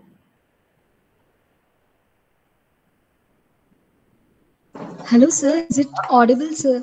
Slides are slides slides are visible. Slides. My slide is visible to you. Hello. Please confirm. Slides are also visible, sir. You can continue. Okay, thank you. Thank, thank you for confirmation. Thank- you for confirmation because these are the two things I had to confirm before commencing any presentations and all. Whether I am audible, whether my slides are visible. If these two things are well, then I can definitely proceed for presentation. Uh, thank you very much for giving an opportunity to make a presentation in the Andhra University, that is in AU College of Pharmaceutical Sciences, Andhra University. And uh, so they are given me an, uh, a topic which is uh, uh, mass spectroscopy. Of course, uh, the entire you are given the uh, presentation yesterday. Since yesterday, uh, these are the presentations are going on, and different speakers are given the uh, very advanced topic, especially related with uh, the intelligence, uh, which is an artificial intelligence, which was one of the important topic, which was uh, currently it is going on. And uh, so currently, the, today also there is a drug discovery related topics are also coming. And uh, so today I am planning for the structural analysis of organic compounds by mass spectrometry. Okay, so this is the topic which I am chosen and uh, so given by your uh, the team of uh, webinar team and all. Uh, uh, so uh, maybe here in this particular presentation, so I am planning to cover uh, the important concept, especially they are related with your mass, uh, mass spectrometry, and followed by uh, the types of ions and fragmentation rules. Maybe I hope that there is an audience or uh, M-Pharma students, right, madam? Yes, sir. Yeah, yeah, fine. Because the, this particular presentation is going to be more helpful for the second year or maybe the first year pharma students. And because without uh, the mass spectrophotometry, there is no any uh, the interpretations for the their organic compounds and all. I hope that this particular topic is going to become interesting for them, and uh, so it will be uh, applicable for their any interpretations which they are going to do it in their uh, research and all. So uh, the, in my presentation, I am planning for the uh, what are the different types of ions are there in the mass, and followed by uh, there are different type of rules are coming here, like uh, maybe the nitrogen rule or hydrogen rule or McLafferty rearrangement and rule of 13. And I'm planning the followed by along with this presentation, there is I am doing some of the uh, examples also. Because the examples are most important in giving an most idea about how exactly the the fragmentation which is going to occur in the case of your mass spectrometry okay? And these are the content i'm planning here. And hoping that so i'm getting in the full one hour for my presentations okay hoping that you are going to give your complete uh, attention for this presentation and hoping that you are going to take in the, whatever that i'm planning today and it is going to receive accordingly if suppose any doubts are there, please clarify the doubts at the end and keep it accordingly in your maybe the voice bags or maybe accordingly so like we can discuss those things once the presentation is completed. Okay. Uh, so here I'm moving on to the mass spectrometry here. So this particular slide is going to give an, the better idea about uh, the mass spectrometry. So I can consider that mass spectrometry is considered as one of the simple balance okay simple and uh, very tiny balance in the available in the universal and which is for the measurement of the important ions here maybe we are already aware about the different type of measurements are going to make it for the different uh, weights and all now what we are going to weigh here is in molecules only like an atoms are molecules we are going to weigh and we are going to give the information about the molecules and molecular weight here and majority of the case what is going to happen here in the case of your mass spectrometry uh, we are going to pronounce it as a mass spectrophotometer. But usually, uh, there is no any mass spectrophotometer here. There is a mass spectrometer is there.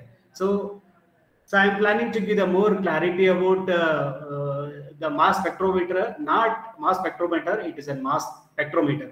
So we are to, supposed to take it accordingly while you are because the remaining all spectrophotometer you are all, all are aware maybe the UV spectrophotometer or maybe IR spectrophotometer and colorimeter, where there is an involvement of radiations, absorption and emission, and uh, so measurements is going to take place. But whereas here in this case, so there is an uh, in, there is no any uh, kind of an absorption and all is not going to happen. It is only the thing which is going to happen here in this then only the destruction here is there.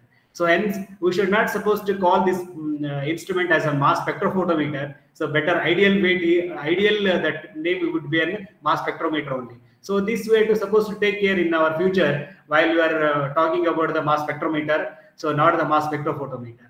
And another technique, the technique which is coming out from here is the mass spectrometry. Okay, some of you are going to write is a mass spectroscopy and all. Maybe the mass spectroscopy is also not an ideal here. It is an the appropriate technique, here is the mass spectrometry. Okay, and the person who is an operating the mass, which I am call it as a mass spectrometrist. Okay, this is how I am giving in the better idea about the mass spectra here. And so then here in the case of your mass, the usually the question is coming, what is the purpose of mass spectrometer?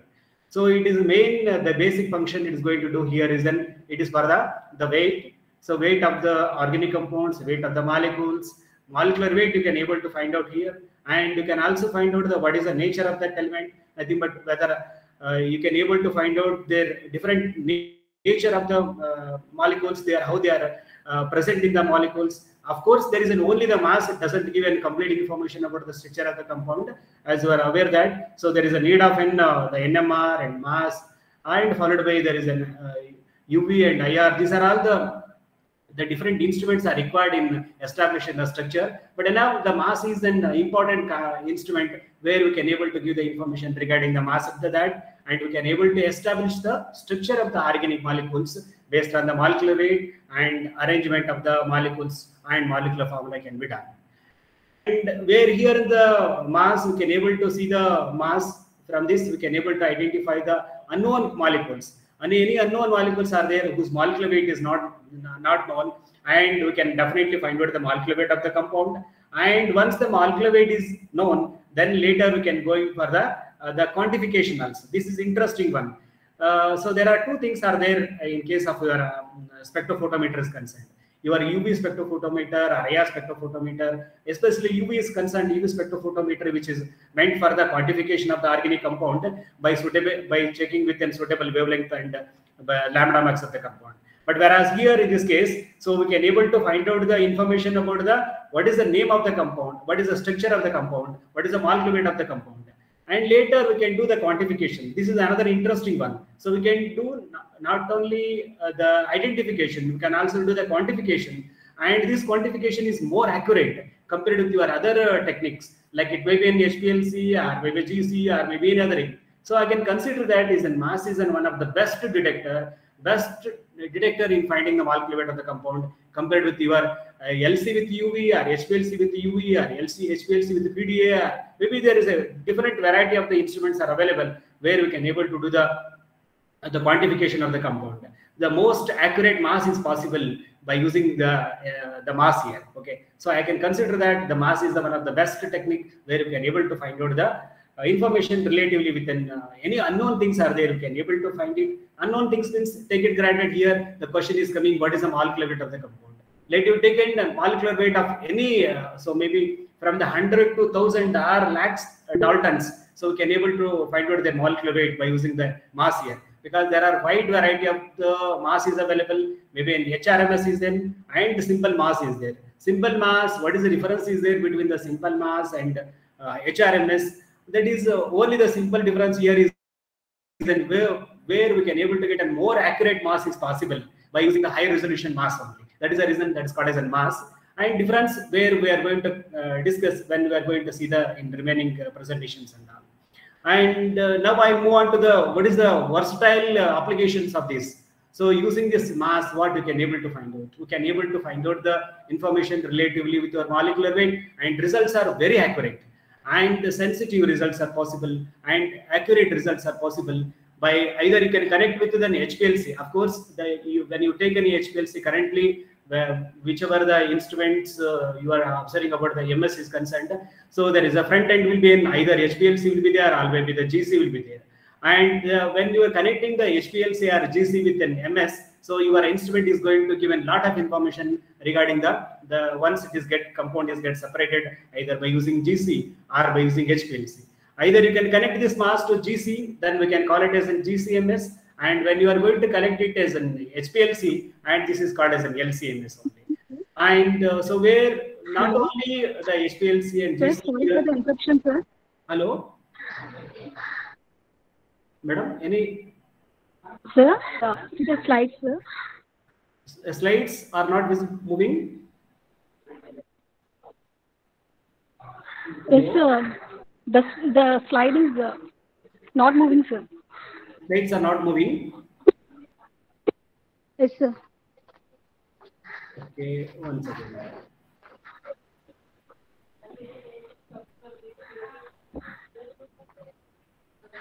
Yes, sir. Now it is. No, no, because this is not the presentation mode, and this is actually the presentation mode. Whether this presentation mode is visible now? Okay. Next, this is this is visible now. Sir, it's visible. Yeah, this next uh, background with the basic instruments of which HPLC is uh, LCMS is visible now. Hello. So I am showing the LCMS instrument that is visible now.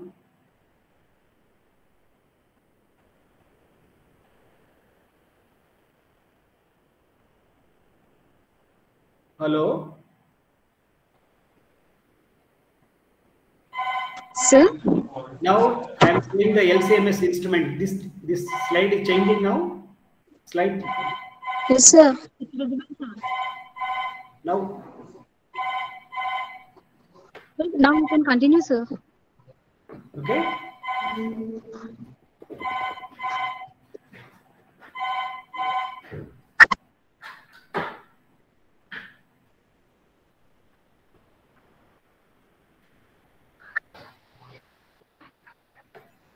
No, no. Hello, sir. It's visible, sir.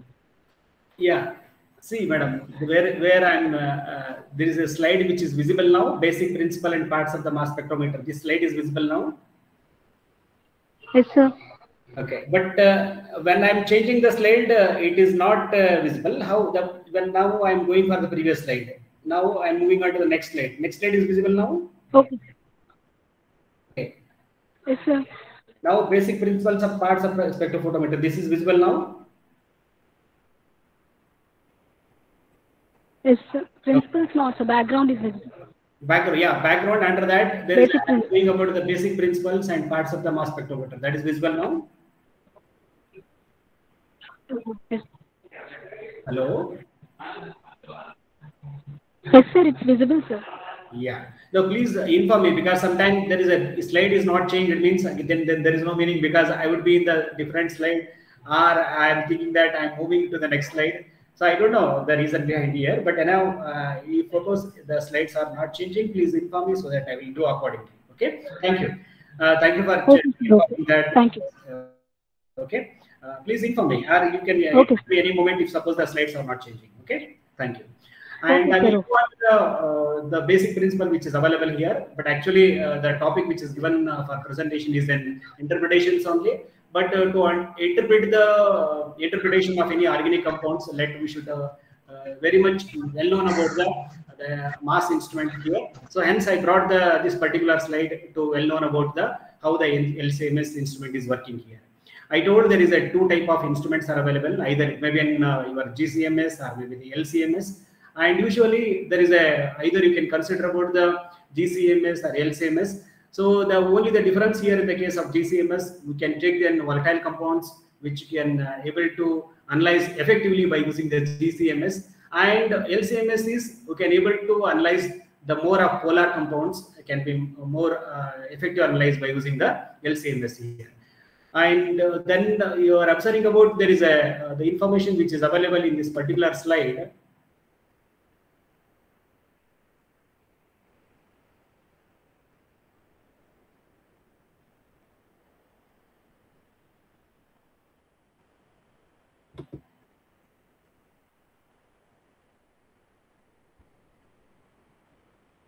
okay See here, I am uh, giving you an information now relatively with the instrumentation only. And there is a when the sample either there is a question is arises, uh, what is the kind of a samples we are going to bring here? The samples I told either we can going to use the samples of volatile or maybe the non-volatile samples we are going to use, and which is going to enter into the ionizer area. So ionizer area. Hello, the Hello, slide. sir. Hello. Again, slides are not moving, sir.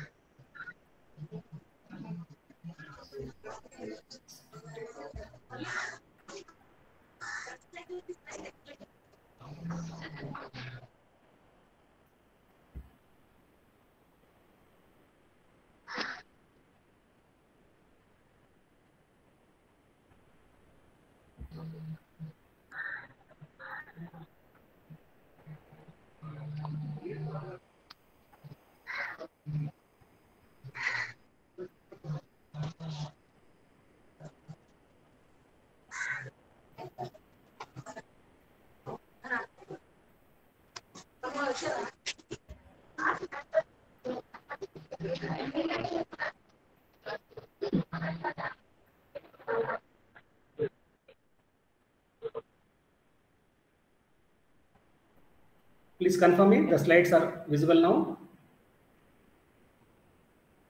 Slides are moving. Hello. Huh, sir? Now the slides are moving. Just to check it, I am changing the slides. Whether slides are moving now.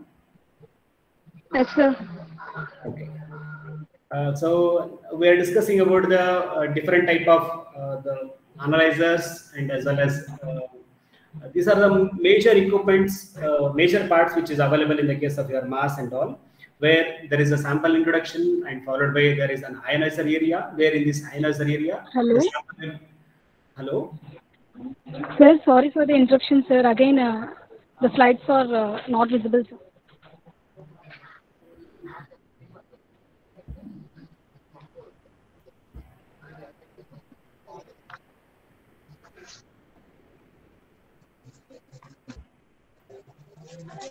Share the screen, sir. share the screen. I'm just trying here. So share your entire screen.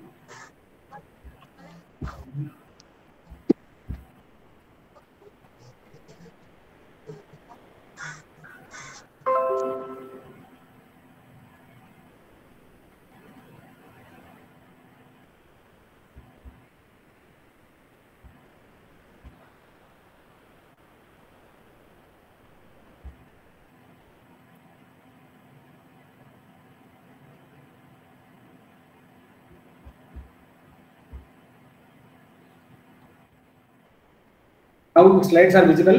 Yes, sir. Now it's visible, sir. Okay, okay, okay. Maybe I was not share the entire screen due to that reason. It was uh, only uh, the maybe the slides are not changing. Okay. Now the slides are moving up and down, right? Right. Yes, Okay. yes, sir. Okay. Thank you. And here, in the case of your uh, the mass uh, spectrometry instruments, the, there are important four important uh, the parts will be there. One is an sample inlet. The next is an uh, ionizer area where there is a different type of ionizations are going to take place, and followed by there is an the followed by there is a mass analyzer you are going to observe. You see here in this very clearly uh, the uh, informations are given, and uh, so we can see that. So this is then where the samples, either the sample may be in either uh, the liquid samples or maybe the gaseous sample, which are going to introduce into the ionizer area, where there are different type of ionization methods are available. So the sample will be get converted into an ionized here, then it is called as an ionizer area.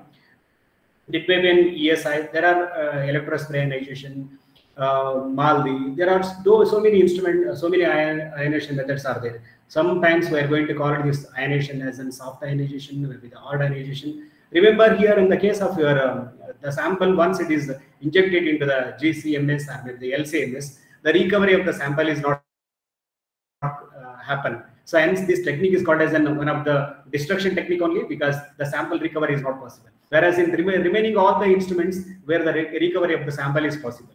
That is a major difference in the case of your uh, other other instrument like maybe your UV, IR, or maybe the other maybe the in, in NMR also we can able to recover the sample. But our the recovery of the sample in the case of your mass is not possible. The reason is that the sample is undergoing the destruction here.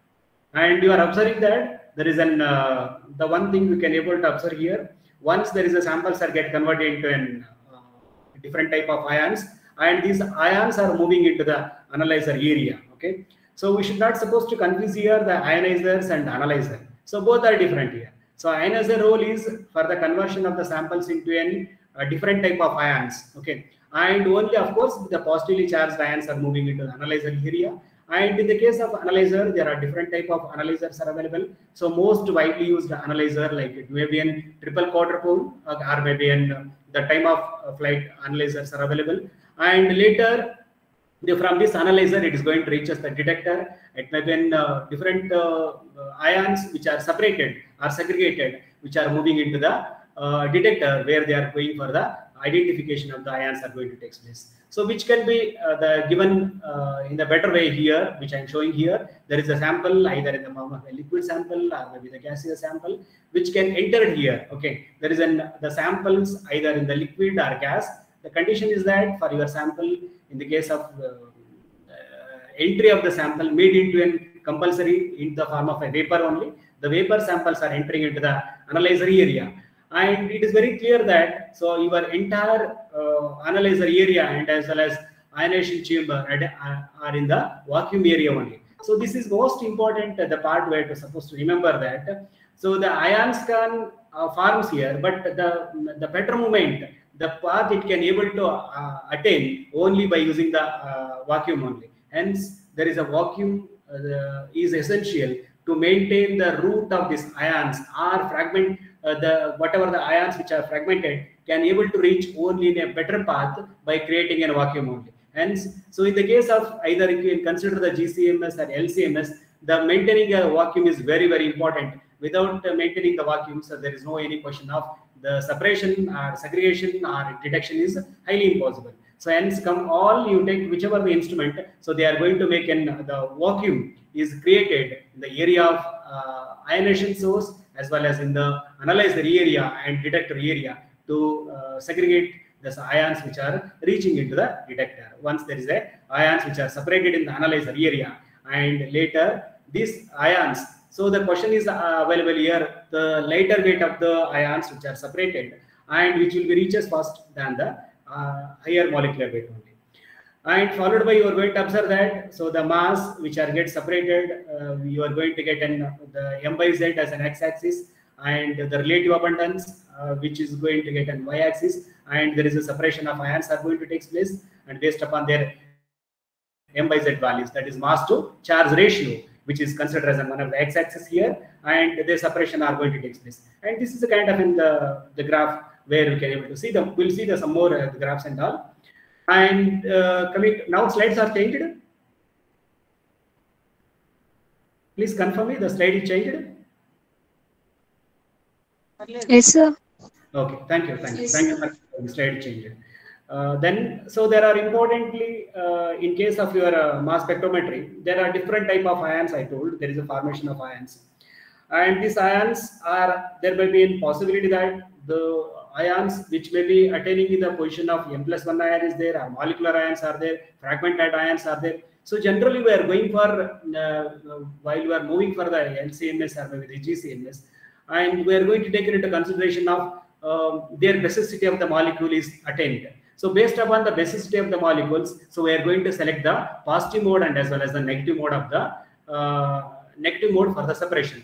And in case of the positive mode, so the compound which are separated are atoms which are separated and which consist of an uh, m plus one which will be there. M plus one nothing but there is a hydrogen atom proton is associated with the your molecular ion. So hence M plus H is possible in the case of your positive mode. So while you are going for the measurement or while you are checking for your molecular weight of the compound, usually we are going to get a M plus one will be there.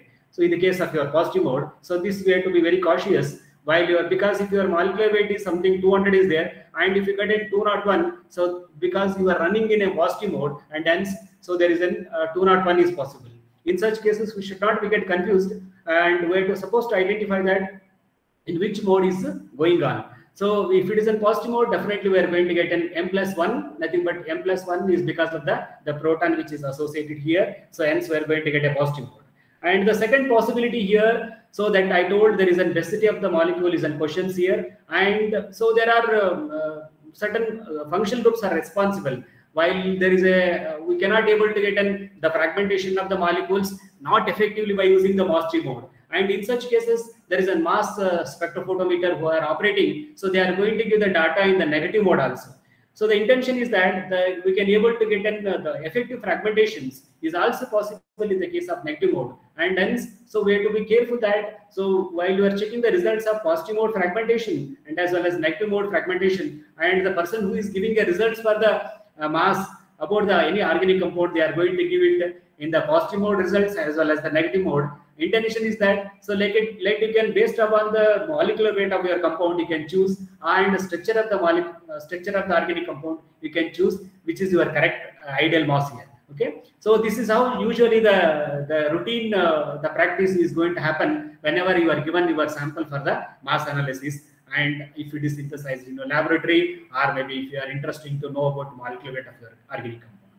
And there is a uh, molecular ion. So this is considered as one of the important ion which is uh, possible because of the molecular weight of the compound.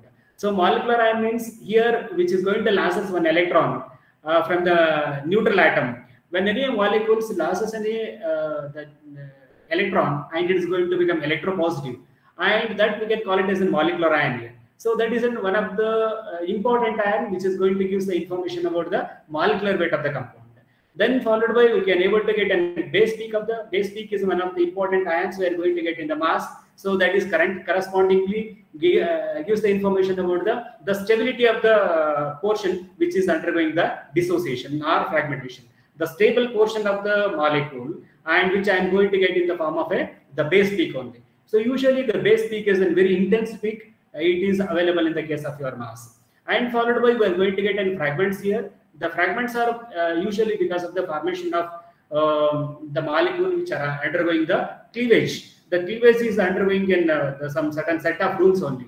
And the cleavage will not undergo according to our will and wish. There are some set of rules are there. It may be in rules like your nitrogen rule or maybe hydrogen rule or McLafferty rearrangement or maybe the uh, some of the important rules for the hydrocarbons are there. By knowing the fragmentation rules, we can able to identify that. So this is our organic molecule and this is about the fragmentations. So usually the fragments which are obtained are uh, usually electropositive only. That is, they are positively charged ions which are going to reach us in the detector and can be able to uh, re- reach us and gives the information accordingly. Okay.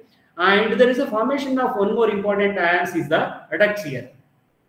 Adduct is an uh, important concept where to supposed to identify while you are going for the molecular weight of the compound. Sometimes there is an uh, in your molecules, maybe the sodium ions or maybe some uh, other component which is uh, added along with your molecules. Maybe you can able to get the some molecular weight of your expected one with an along with the sodium is possible.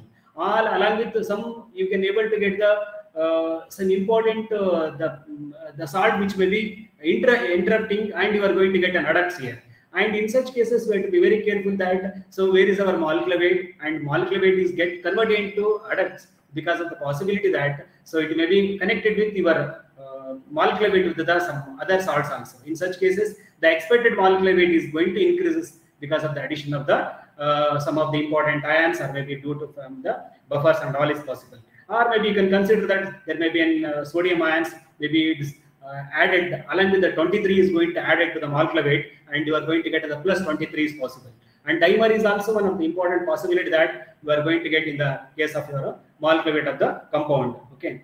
And so this particular uh, the slide which is going to give a more idea about uh, so what exactly the gcms and lcms is going to do and in case of your uh, GCMS, has already expressed that, so it is mainly for the determination of the volatile compounds can be effectively analyzed by using the GCMS. And uh, so uh, the question is coming whenever the people are doing a kind of research and all. So which is MS, uh, whether GCMS is an appropriate or LCMS is an appropriate. They have a million dollar question. So they thought that both are both are same. But usually there is a GCMS and LCMS is a different one, and different uh, applications are there. So when your sample is in volatile, and in such cases, we are supposed to use the, the GCMS, and when suppose if your compound is in polar is there, and we have to go for the LCMS here. Okay. And when you are using a GCMS, where there is a uh, different ionations we are going to get here. So that ionization may be an electron ionization that we are going to call as an EI here, and there may be a chemical ionization is possible. Okay. And these are the ion ionization methods which I told there is a uh, sample inlet and followed by the ionization methods and analyzer and as well as detector. And in the case of ionization methods, so we are going to use the electron ionization or maybe the chemical ionization are most widely used in the case of your GCMS. Okay. And I told there is a positive and as well as negative, and these are all the groups are responsible for the while you are selecting any positive ion mode and as well as negative ion mode for the uh, experiments here. Okay, thank you and so there may be a uh, possibility that there is an uh, uh, the non-volatile and in such cases the nothing but in case of your lcms okay? In, in case of your lcms so there are different type of uh, the ionization methods are used. It may be an fab or maybe an esi or maybe apci or maybe the maldi maybe in your informal level maybe you are already studied about this in detail about the how exactly the fast the fab is working electrospray is working atmospheric pressure the chemical ionization is working and matrix assisted that is we are going to call as an MALDI how it is going to working and all. So because i'm not going to take in detail about this working of the different uh, ionization methods here. So i'm concentrating on the more of uh, the interpretation like how the uh, the quantification or identification of the molecule is possible. Okay.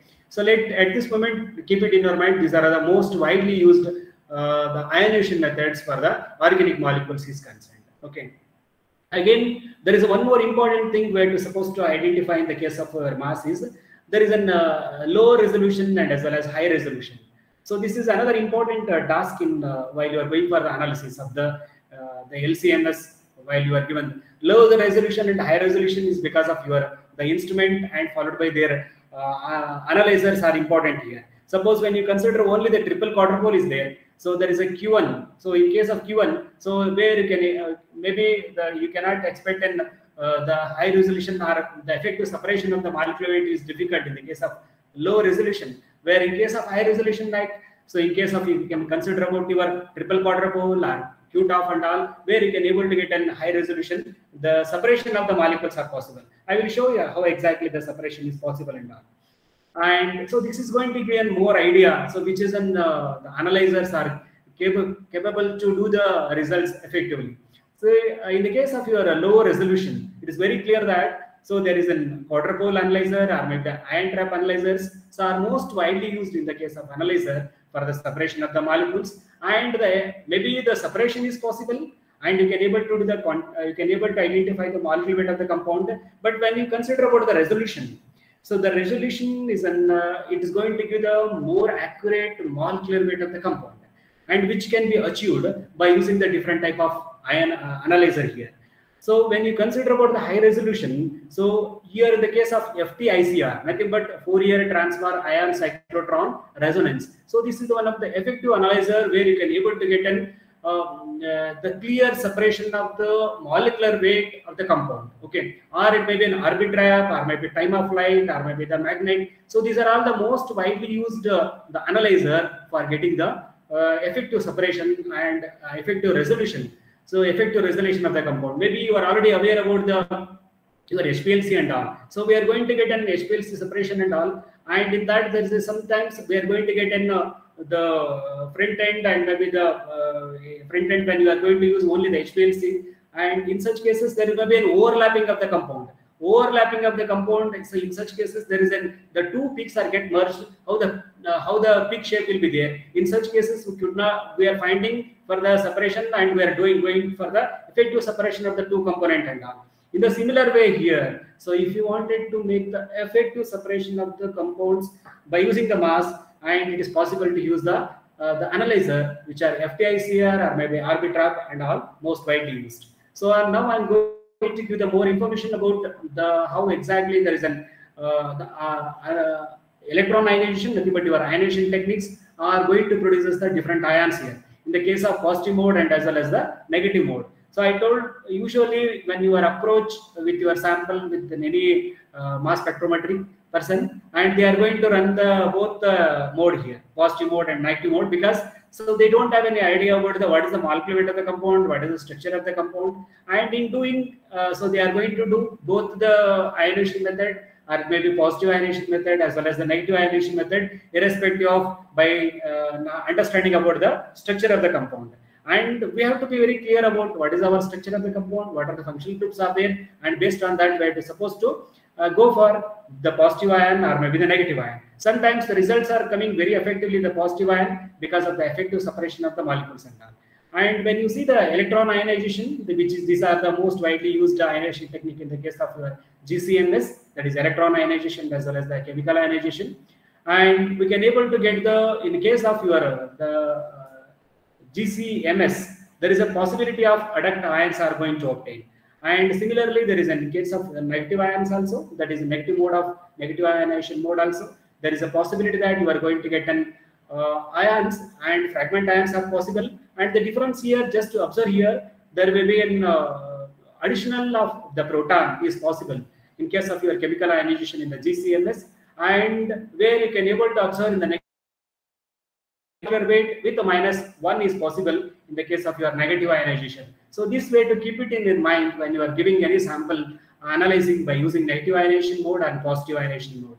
So expected molecular weight is going to become increases plus 1 in the case of your positive ionization and in case of your negative ionization. So expected molecular weight is uh, with 1 minus is possible that are to supposed to identify in the case of and which mode we are running the spectra and accordingly the results are coming here. Okay.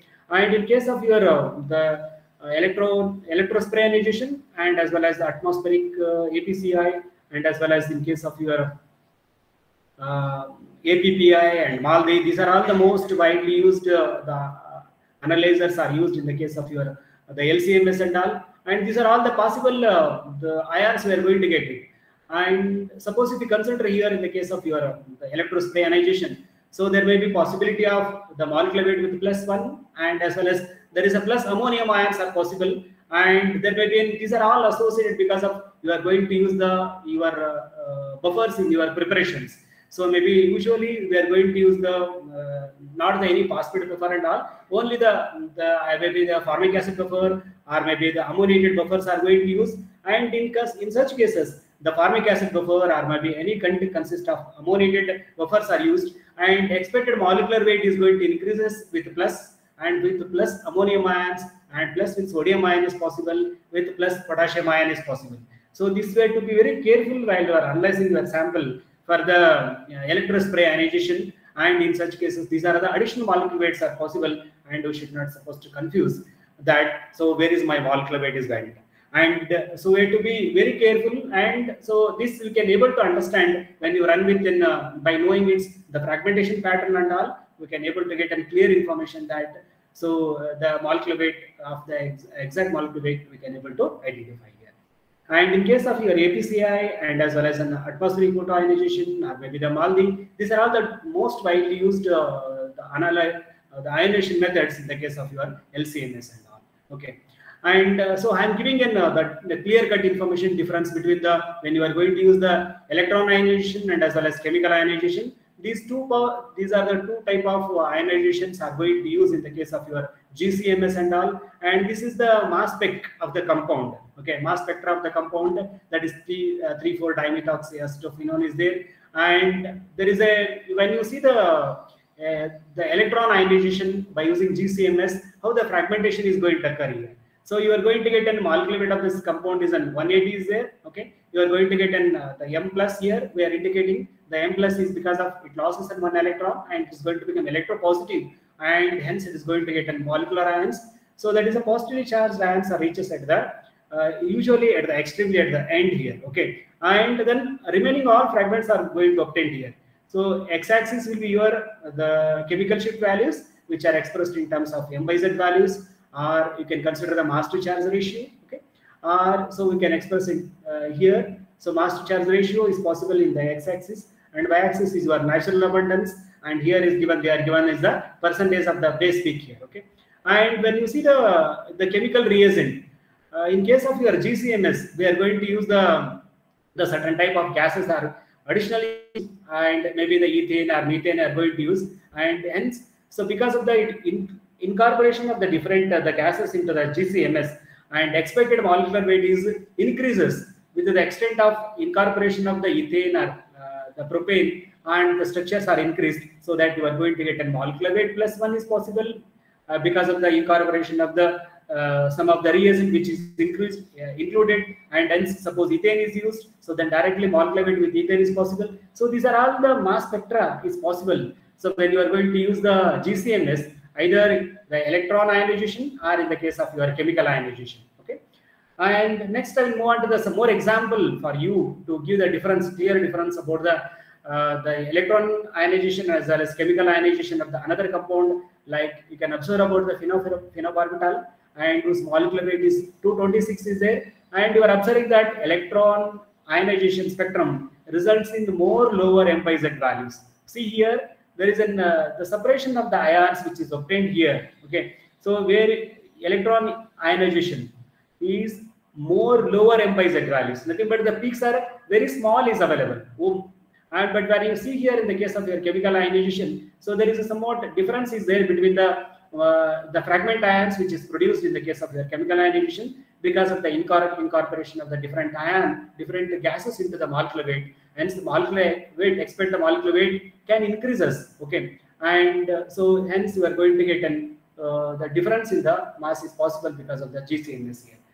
And so I told there is a uh, resolution wise uh, regarding the MS is concerned. So you are going to observe that there is a, a resolution which is possible in the case of your MS this particular slide is going to give an idea more better idea about so how the low resolution mass spectra will be there and high resolution mass spectra is there. Observe the slide carefully. So here there is an x-axis is your uh, the chemical shift values only. Sorry, uh, x-axis is your m by z values. So in chemical shift values, sorry, it is there in the NMR only because just now we saw the NMR. Uh, the the M, x-axis is your m by z values. So where you can able to check the uh, the fragmented ions, and you are going to observe here there is the m by z values are more accurate is possible here. That is mass to charge values uh, are more accurate is possible. Around 783 accurate mass is possible. Okay, and here very accurate mass is possible in the case of your resolution mass spectra. And when you are going to take it in the quadrupole with the time of flight. So nothing but when you are going to use the mass instrument with triple quadrupole and QTOF, so where we can able to get the high resolution is possible. Suppose when you are going to use the mass of uh, instrument with an API some 3000 is there and this is going to appearance of the the separation of the ions in the form of a it has started from 702 and it is end up with 706 and if it is a molecular weight is something about and in such cases it may be lies in between this only and this problem can be completely eliminated when you are going for the high resolution high resolution mass spectra only. okay and so now i'm going to give the more information uh, regarding the uh, to give the clarity about the in uh, mass spec where you are going to observe there is a single mass or maybe the triple mass or maybe the mass with QTOF. These are the different uh, instruments we are going to get in the while you are going for analysis of the any samples and all. Just this particular slide is going to give an idea about regarding the analysis of the your sample.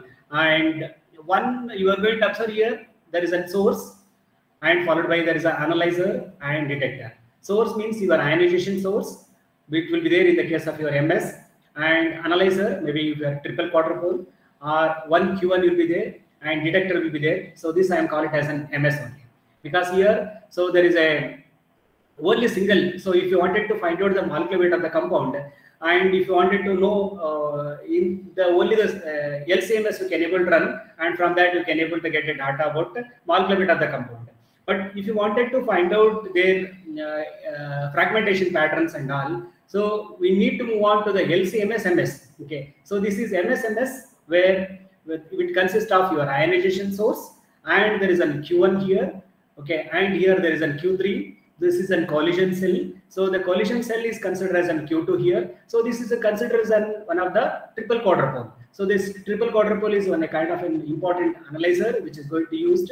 And so this gives the information that whatever the ions which are produced here, it will be undergoing the again further uh, the cleavage and gives the more idea about the uh, the possibility of the daughter ions are possible and based on that we can able to identify the accurate mass of the compound. So and later the these ions are reaching into the detector only. It might be ferrite detector or maybe some detector will be there and it is going to give the information about the molecular weight of the compound once the ions are get separated here. Okay. Then followed by there is a some more uh, correctly and interestingly and most widely used instruments in the case of the uh, LCMS-MS or GCMS-MS instruments are uh, consist of not only the single uh, analyzer. Uh, now they are going to include the one more better one. So by introducing the triple quadrupole with an uh, time of flight here. So when you are including the uh, analyzer in the by combining the two analyzer, one is an QTOF. Okay, this is Q1 and this is Q2 and Q3. This is an QTOF. And if you wanted to include any time of flight, so you are going to get a still effective separation and high resolution is possible. Moving on to the uh, the triple quad QTOF with the QTOF uh, QTOF with uh, uh, that is triple quadrupole with the time of flight. The difference here it is very clear that so we are going to use this the single quadrupole here. Here triple quadrupole was used. Here with the triple quadrupole with the one more time of flight is used and there is a one more uh, ion trap is also currently available for the analysis of the sample. So these are all the different uh, uh, instruments are available which you can able to give the more accurate result, more Uh, high result uh, the component spectra is possible by referring the uh, instruments here. So, the we are supposed to moving on to the any particular the sample or instruments we have to know about what is our interested application whether we want to know about only the molecular weight of the compound or whether we want to know about their uh, fragmentation pattern and all. In such cases, we have to select accordingly. Okay. So now I'll move on to the uh, giving the more information uh, which I given about the instrument now. So now I'm moving on to the, the theory which is involved here. Uh, you are aware that so when any molecules uh, uh, bombarded uh, with an uh, electron impact ionization by using in suitable electrons that is minus 70 electron volt which is impinged on the organic molecules so that we are going to get an, the formation of ions only here and this formation of ions with the loss of an electron it is going to become electropositive here.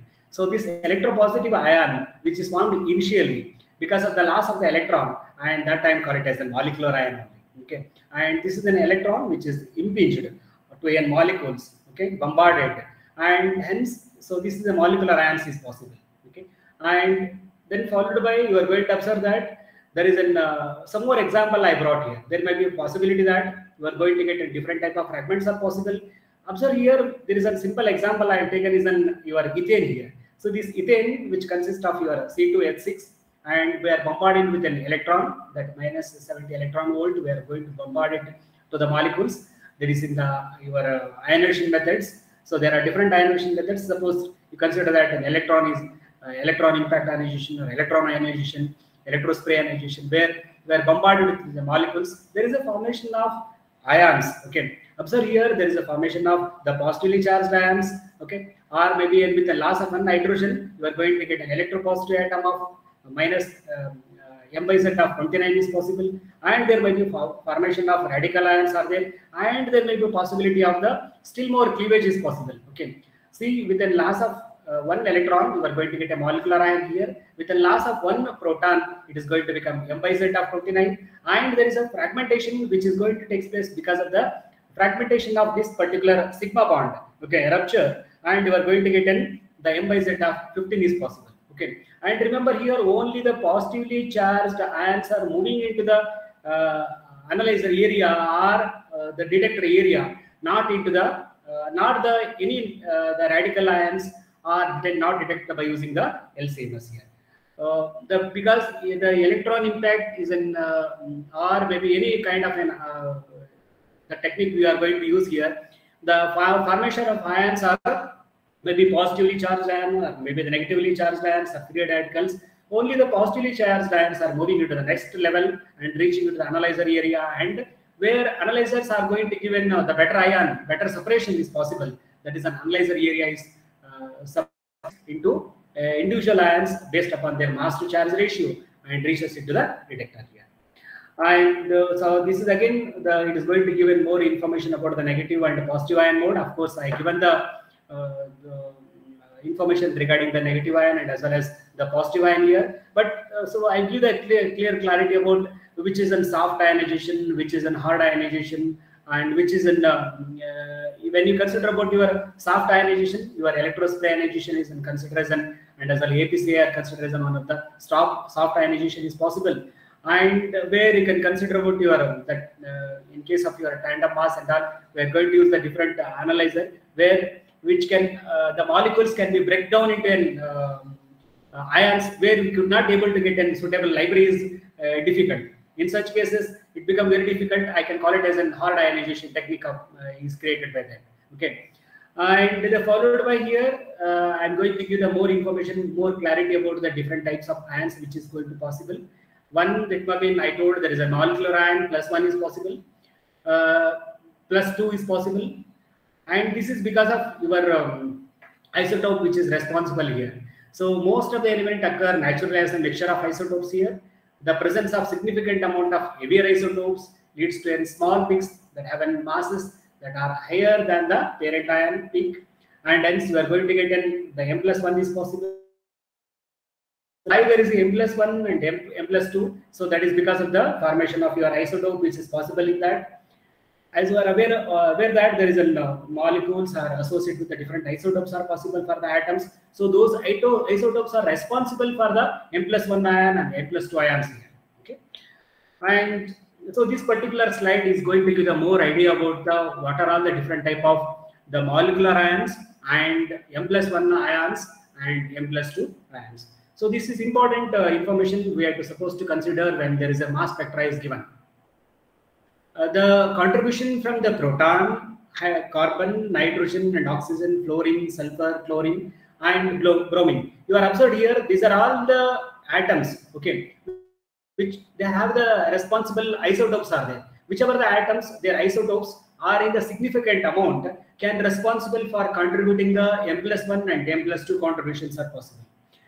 The expected molecular weight with plus 1 is possible, plus 2 is possible, and the plus 1 contribute. So when you consider about the molecular weight, so here in the proton, there are about uh, the two isotopes are possible for the where hydrogen is concerned. One is in deuterium ion, another one is in tritium is possible. Amount of the natural abundance of the deuterium is only 0.013 percent is there, and when you consider about the your tritium, so that is very negligible amount is there, and hence so hydrogen is very negligibly giving the m plus one contribution because of the low natural abundance. Okay. and whatever the proton you are going to get it that is because of the 99.9 is because of your proton only and not because of your isotopes of uh, the deuterium tritium here. Coming to the carbon 12 so again there is a carbon 12 carbon which is having the two isotopes possible carbon 13 and carbon 14 and in case of your carbon 13 the carbon 12 is natural abundance is 99.98 percent is your carbon 12 is there. But whereas carbon 13 1.1 percent of uh, there is a natural abundance of the carbon 13 is there and carbon 14 is again not much interfering because the amount of carbon 14 as a natural abundance is very uh, low as expressed in terms of ppm so we can neglect the contribution of the carbon 14 as an m plus 2 but we have to consider the m plus 1 contribution from the carbon is possible because 1.1 percent of the carbon 13 is uh, possible because of the m, m plus 1 here okay? And possibly in the case of your nitrogen atom and there is a one isotope is possible nitrogen. That is one nitrogen 14 and nitrogen 15 uh, observe the the natural abundance of the nitrogen nitrogen 14 here. It is 99.6 is there. But whereas nitrogen 15 it is 0.3 is there. So the amount of the uh, nitrogen nitrogen 15 is 0.3 percent.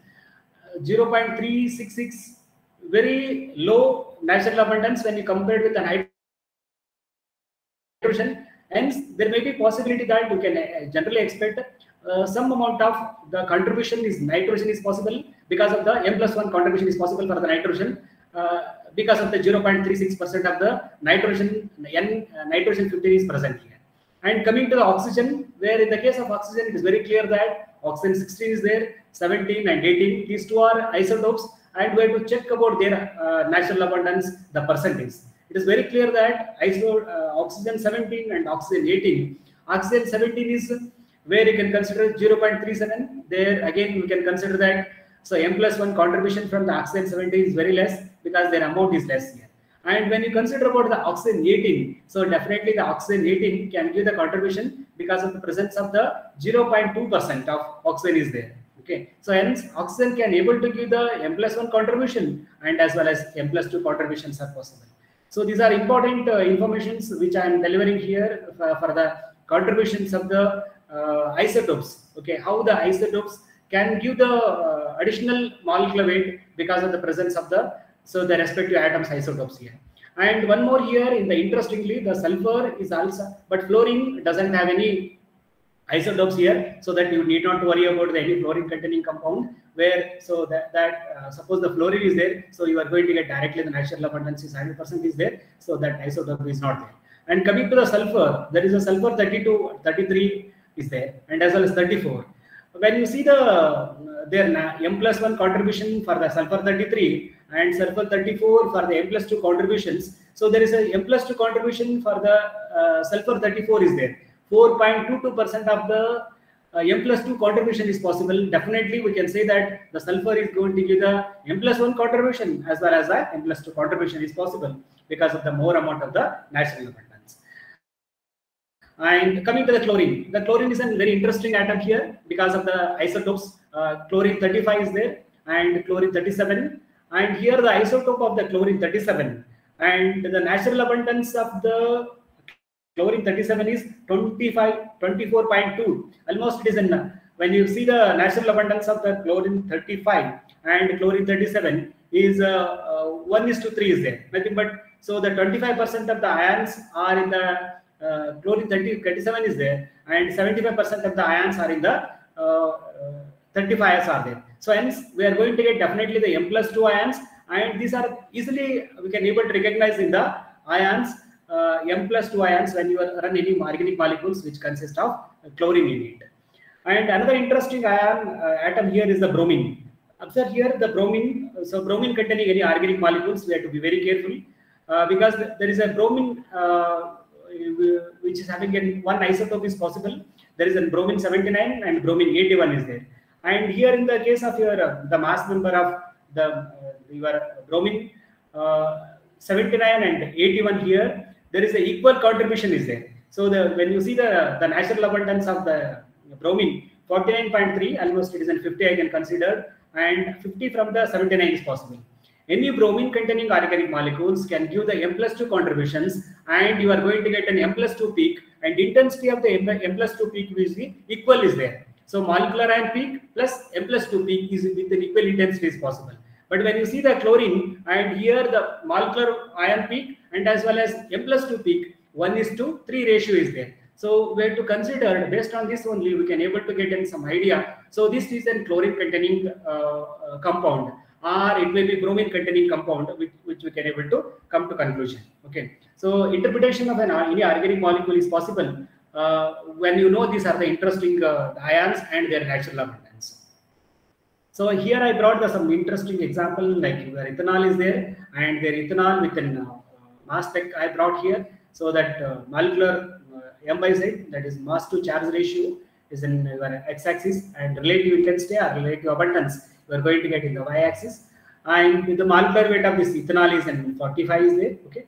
And so 46 is there. And you are going to get uh, the uh, molecular ion peak extremely at the right here okay?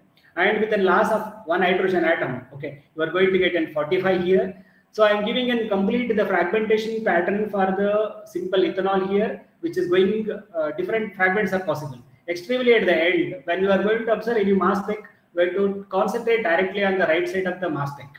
And what is that? So that is here interestingly at the right you are going to get then molecular ion peak and rest are all the completely the fragment ions so the fragmentation is going to take place i told in the beginning there is an uh, interestingly they are undergoing the some sort of rules are there based upon the rules there is a cleavage is possible and so here in this case, you are going to get in the molecular ions, their fragmentation ions, and there is an important, uh, the base peak is possible.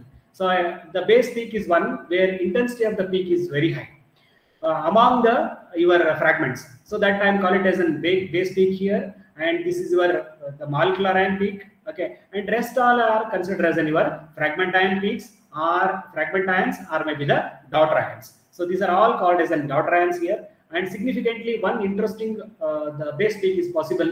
The base peak is one which is uh, uh, because of you are observing here CS2OH. Okay, the CS2OH uh, which is obtained because of the formation of the important stable portion of the your ethanol only and hence so you are going to get an the interesting peak is possible and that i'm getting uh, that you are going to observe here is then uh, the 31 okay? The 31 is the important the base peak. And uh, just to observe the all are the ions they are all positively charged only okay? Either it may be in your methane cs3 or c2s2 or cs3 these are all you are observing that they are all completely positively charged ions are there. Only the positively charged ions are going to give the the response in the mass spec and so here uh, we have to be very uh, clear about regarding whenever there is a molecules mass spectra uh, if it is in bromine containing atoms and all. So as we already realized that m plus 2 contribution is possible definitely from the any bromine containing compounds here. And here i brought an, one example. Here is an 2 bromopropane is there. Observe the structure carefully and this is then uh, 2 bromopropane and the molecular weight of this compound is 123 is there okay? And 123 you got here as a molecular ion. And it is very clear that any bromine containing molecules can give the m plus 2 contribution which i already stated. So m plus 2 is possible because the bromine 79 and bromine 81 is there. So 79 and 81 equal density is possible. From this, it is very clear that there is a m plus 2 peak is there, and this is because of the 125 because of the m plus 2 contributions. So in this way, we can able, we can able to recognize So the different type of ions, okay, different type of ions and their uh, their intensity, the peak intensity, it's a clue whether the molecule is in bromine containing molecules or chlorine containing molecules or nitrogen containing molecules and molecular weight is also giving a very significant uh, information here. So here I brought the one more example for you, the chlorine containing molecules. Here there is a chlorine containing, I already told that the chlorine 35 and 37. Chlorine 35 is then uh, so almost 75 the uh, portion will be there. Nothing but natural abundance is 75% is there. And chlorine 37 is then 25%. And here it is very clear that, so in the case of your the chlorobenzene, molecular weight is in the molecular weight of this compound is 112 is there. And there is M plus 2 is possible because of the formation of the 37 35 and 37 hence the molecular weight is increases to m plus 2 and you are going to get 112 and as well as 114 is possible. And we have to be very careful while such type of ions which are produced here. So this is because of your molecular ions. Okay.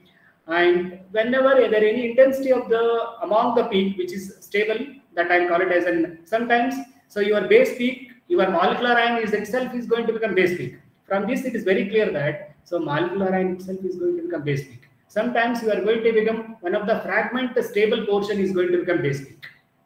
And followed by there is a from this it is very clear that there is an uh, intensity of the molecular ion peak as well as the m plus 2 is 1 is to 3 is there. From this it is very clear that it is a chlorine containing compound and below you are going to get an what are all the fragments are possible. Okay. From this it is very clear that there is a 77 is because of loss of chlorine here because of this loss of chlorine that is 35 and chlorine is a negatively charged ions. It is not uh, produced any ions here for your kind information. Any chlorine peak is not visible here because it is a negatively charged ions. Only the positively charged ions are reaches the detector and response is possible okay? And you are observing that there is an uh, these are all the different uh, fragment ions which is possible in the case of your chlorobenzene and now i will give the some more idea about how there is a uh, the sulfur can contribute. And sulfur uh, is also contributing m plus 2 peaks and all.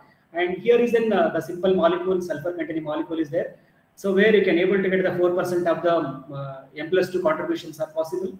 And here this is a molecular weight of the compound. And this is an m plus 2 peak is possible because of the presence of the the natural abundance nothing but m plus 2 peak is possible for the sulfur here and there is an iodine containing molecule. So here is an uh, the simple iodo acetonitrile is there. So this is molecular weight of this compound is 166 is there, and you are getting exactly uh, as uh, already aware that iodine doesn't have any isotopes, and we are going to get a very clear uh, the separation is possible, and which you can able to understand here. There is a large gap is there between your molecular uh, weight and as well as its fragments, and from this we can able to assume that so the iodine, this is a molecule which consists of iodine containing compound that is an iodoacetonitrile. Okay.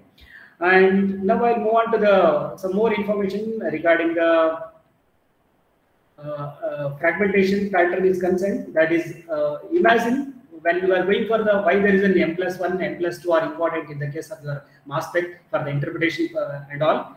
I suppose if you consider in case of your methane, and in the methane we can expect that 9800 molecules are belongs to the carbon 12 is there.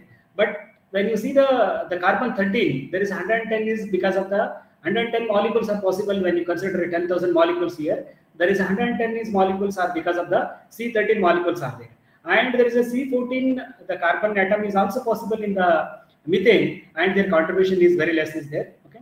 And so you are going to get an M plus 1 ion uh, because of the presence of, there is a uh, carbon 13 is there. Okay like this is an idea is going to use that how there is a uh, the peak and peak intensity will be there it is going to give the information so if your compound is an hydrocarbon is there so you are going to get a molecular peak and so the expectation of the m plus 1 peak because of the carbon is very uh, possible because as the carbon number is increases i think this is an uh, information is going to give the more clarity about uh, when there is an the compound suppose if we consider the ethane c2h6 and there is a molecular ion, you are going to get an 100%.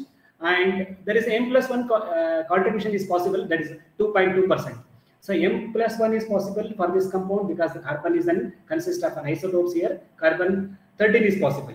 And carbon 13 the amount as the amount of carbon content is increases, so the M plus one M plus one intensity is increases here. You are observing that there is a 6.6 percent is then contributing because of the increase in the amount of carbon here. Hence, you are observing that there is a intensity of the M plus one peak is increases. So this we have to note down while you are going for the any interpretation of the organic molecules. And we should also take into consideration of the nitrogen, sulfur in the while you're going for the M plus one contributions here. Uh, so this particular the, the slide is going to give the more idea about uh, so how to identify the uh, M plus two contributions and now.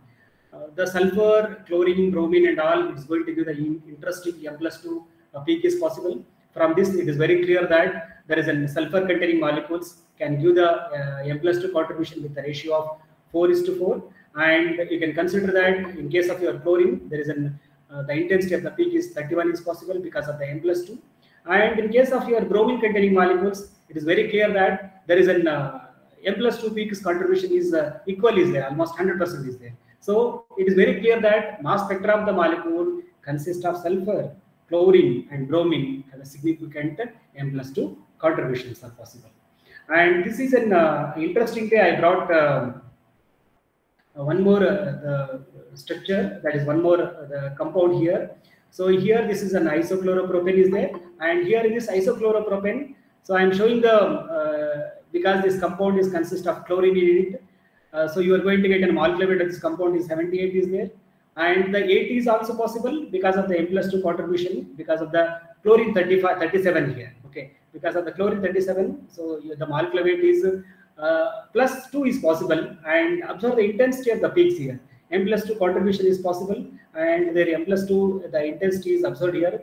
3 is to 1 is there okay? This is interesting one and next i move on to the one more example uh, that is in uh, uh, molecule with an bromopropane is there here. So in this bromopropane so the molecular weight of this compound is 122 is there okay?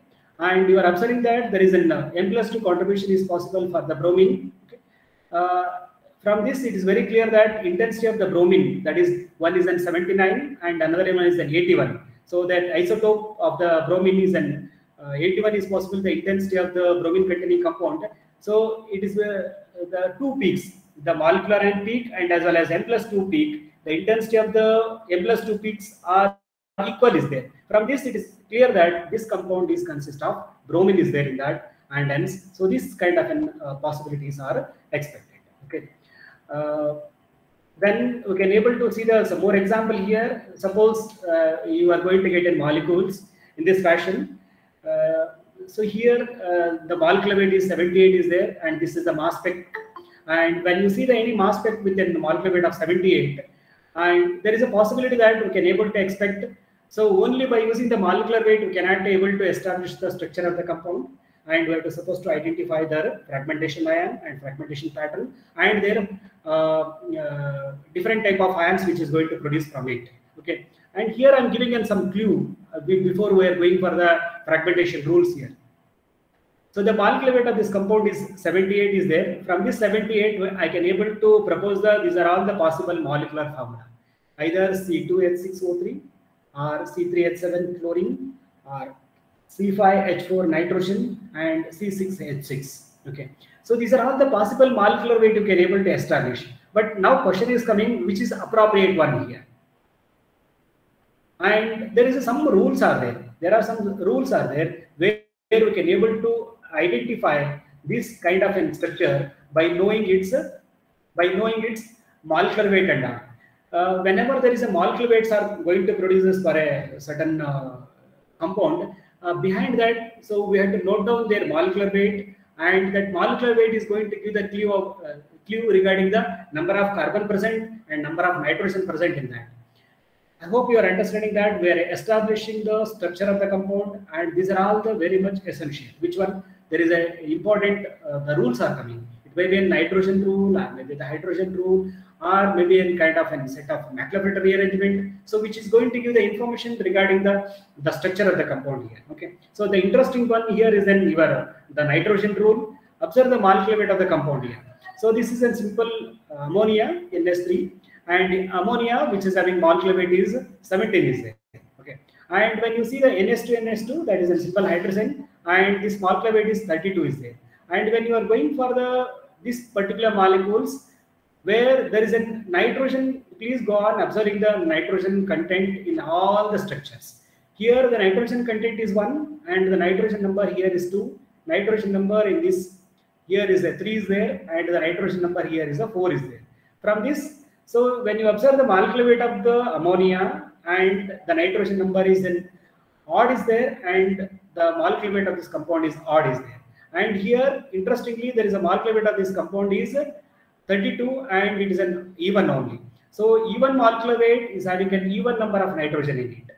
And when you see the molecular weight of this compound is an odd is there and the number of nitrogen which is present in the molecule is odd is there.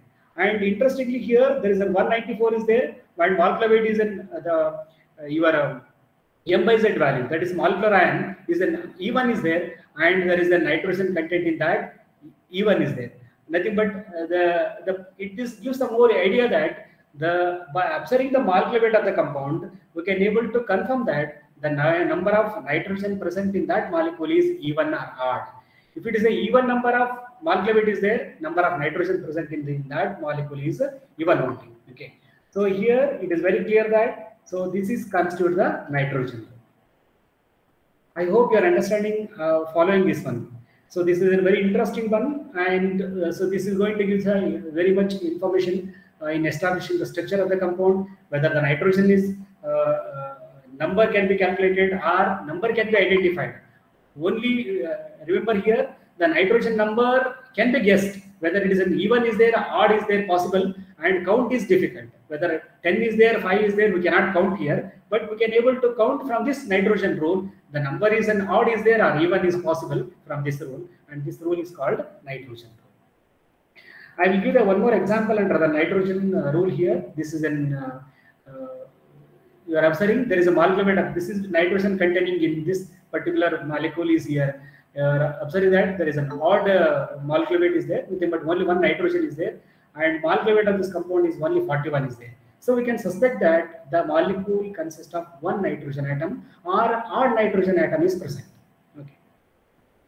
So this is again uh, in, this structure there is a nitrogen atoms are only one is there and molecular molecular ion peak the molecular ion uh, is odd is there. So it gives some idea that so there is an uh, only one night only one odd number of nitrogens are present in that. Okay, and another one here in this again the same thing only, and which is going to give the fragmentation pattern is possible. What are the different type of ions which are going to produced when this particular ion undergoing the fragmentation? So we are going to get an, only the positively charged ions are reaching into the detector, and 72 and 44 and 86 these are all the different type of ions are possible and uh, by knowing the this particular uh, which i gave in the beginning there are different formula i was established. By using the formula we can able to uh, subtract one formula from this. Uh, can anybody give the answer here uh, from this? Which formula can be eliminated from this?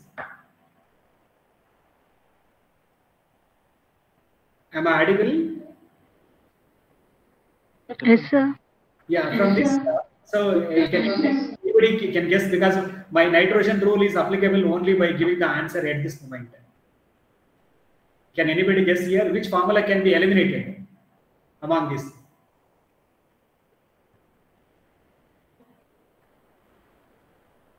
Okay, I will not take more time because so here one. Hello?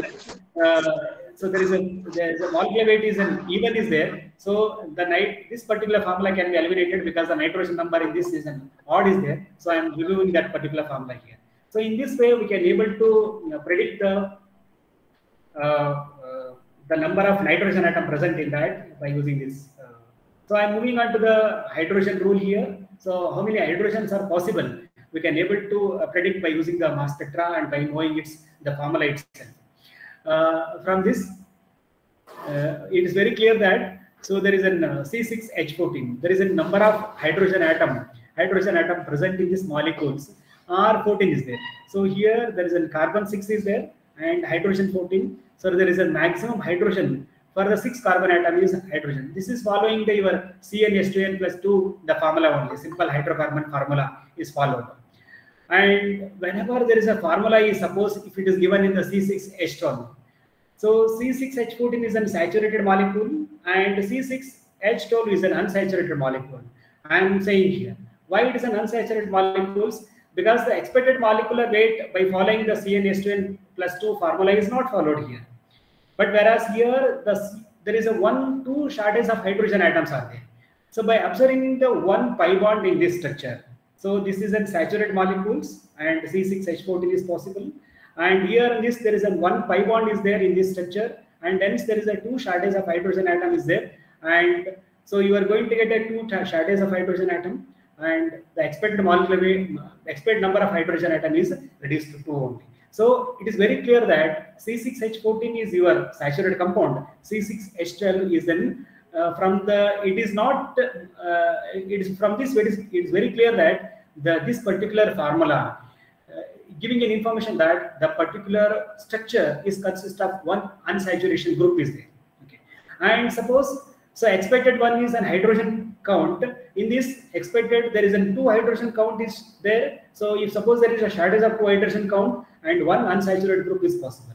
If suppose there is a shortage of four hydrogen atom, shortage of four hydrogen atom, there may be possibility of the two unsaturation or maybe because of the two pi bond system or maybe the possibility that and uh, from this so C6H10 is there so C6H10, it is very clear that expected is C6H14 is there and C6H10 is there. There is a shortage of four hydrogen atom. We can suspect that in the given structure, there may be any two unsaturation group or maybe possibility of the triple bond here. Nothing but carbon-carbon triple bond is possible. So the carbon-carbon triple bond is also can use the information that in that molecular weight with the shortage of two, four hydrogens are possible. Okay. So I will move on to the uh, some interesting uh, examples here. So I am exceeding the time, madam. Hello. Hello. Sir, no, you can go for 10 more minutes. 10 to 15 Four minutes. Huh? Madam, I can I can take the ten more minutes, no problem. Yes, sir. Okay. Okay. Thank you.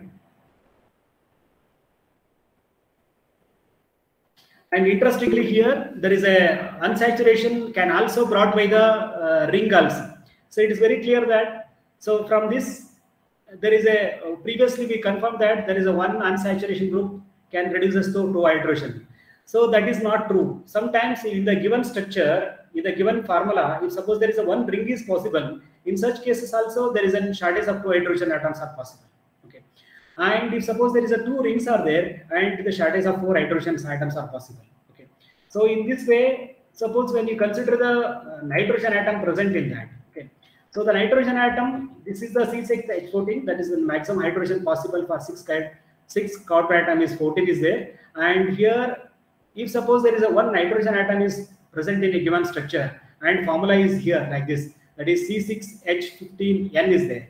So C6H15 so from this, it is very clear that the nitrogen containing compound or nitrogen atom is present in a given molecule can give the contribution in the increase in the number of hydrogen atom. So previously, we observed that there is a 2 2 shortage of hydrogen atom gives the one unsaturation and one hydrogen atom is increased here. And because of the presence of one nitrogen atom.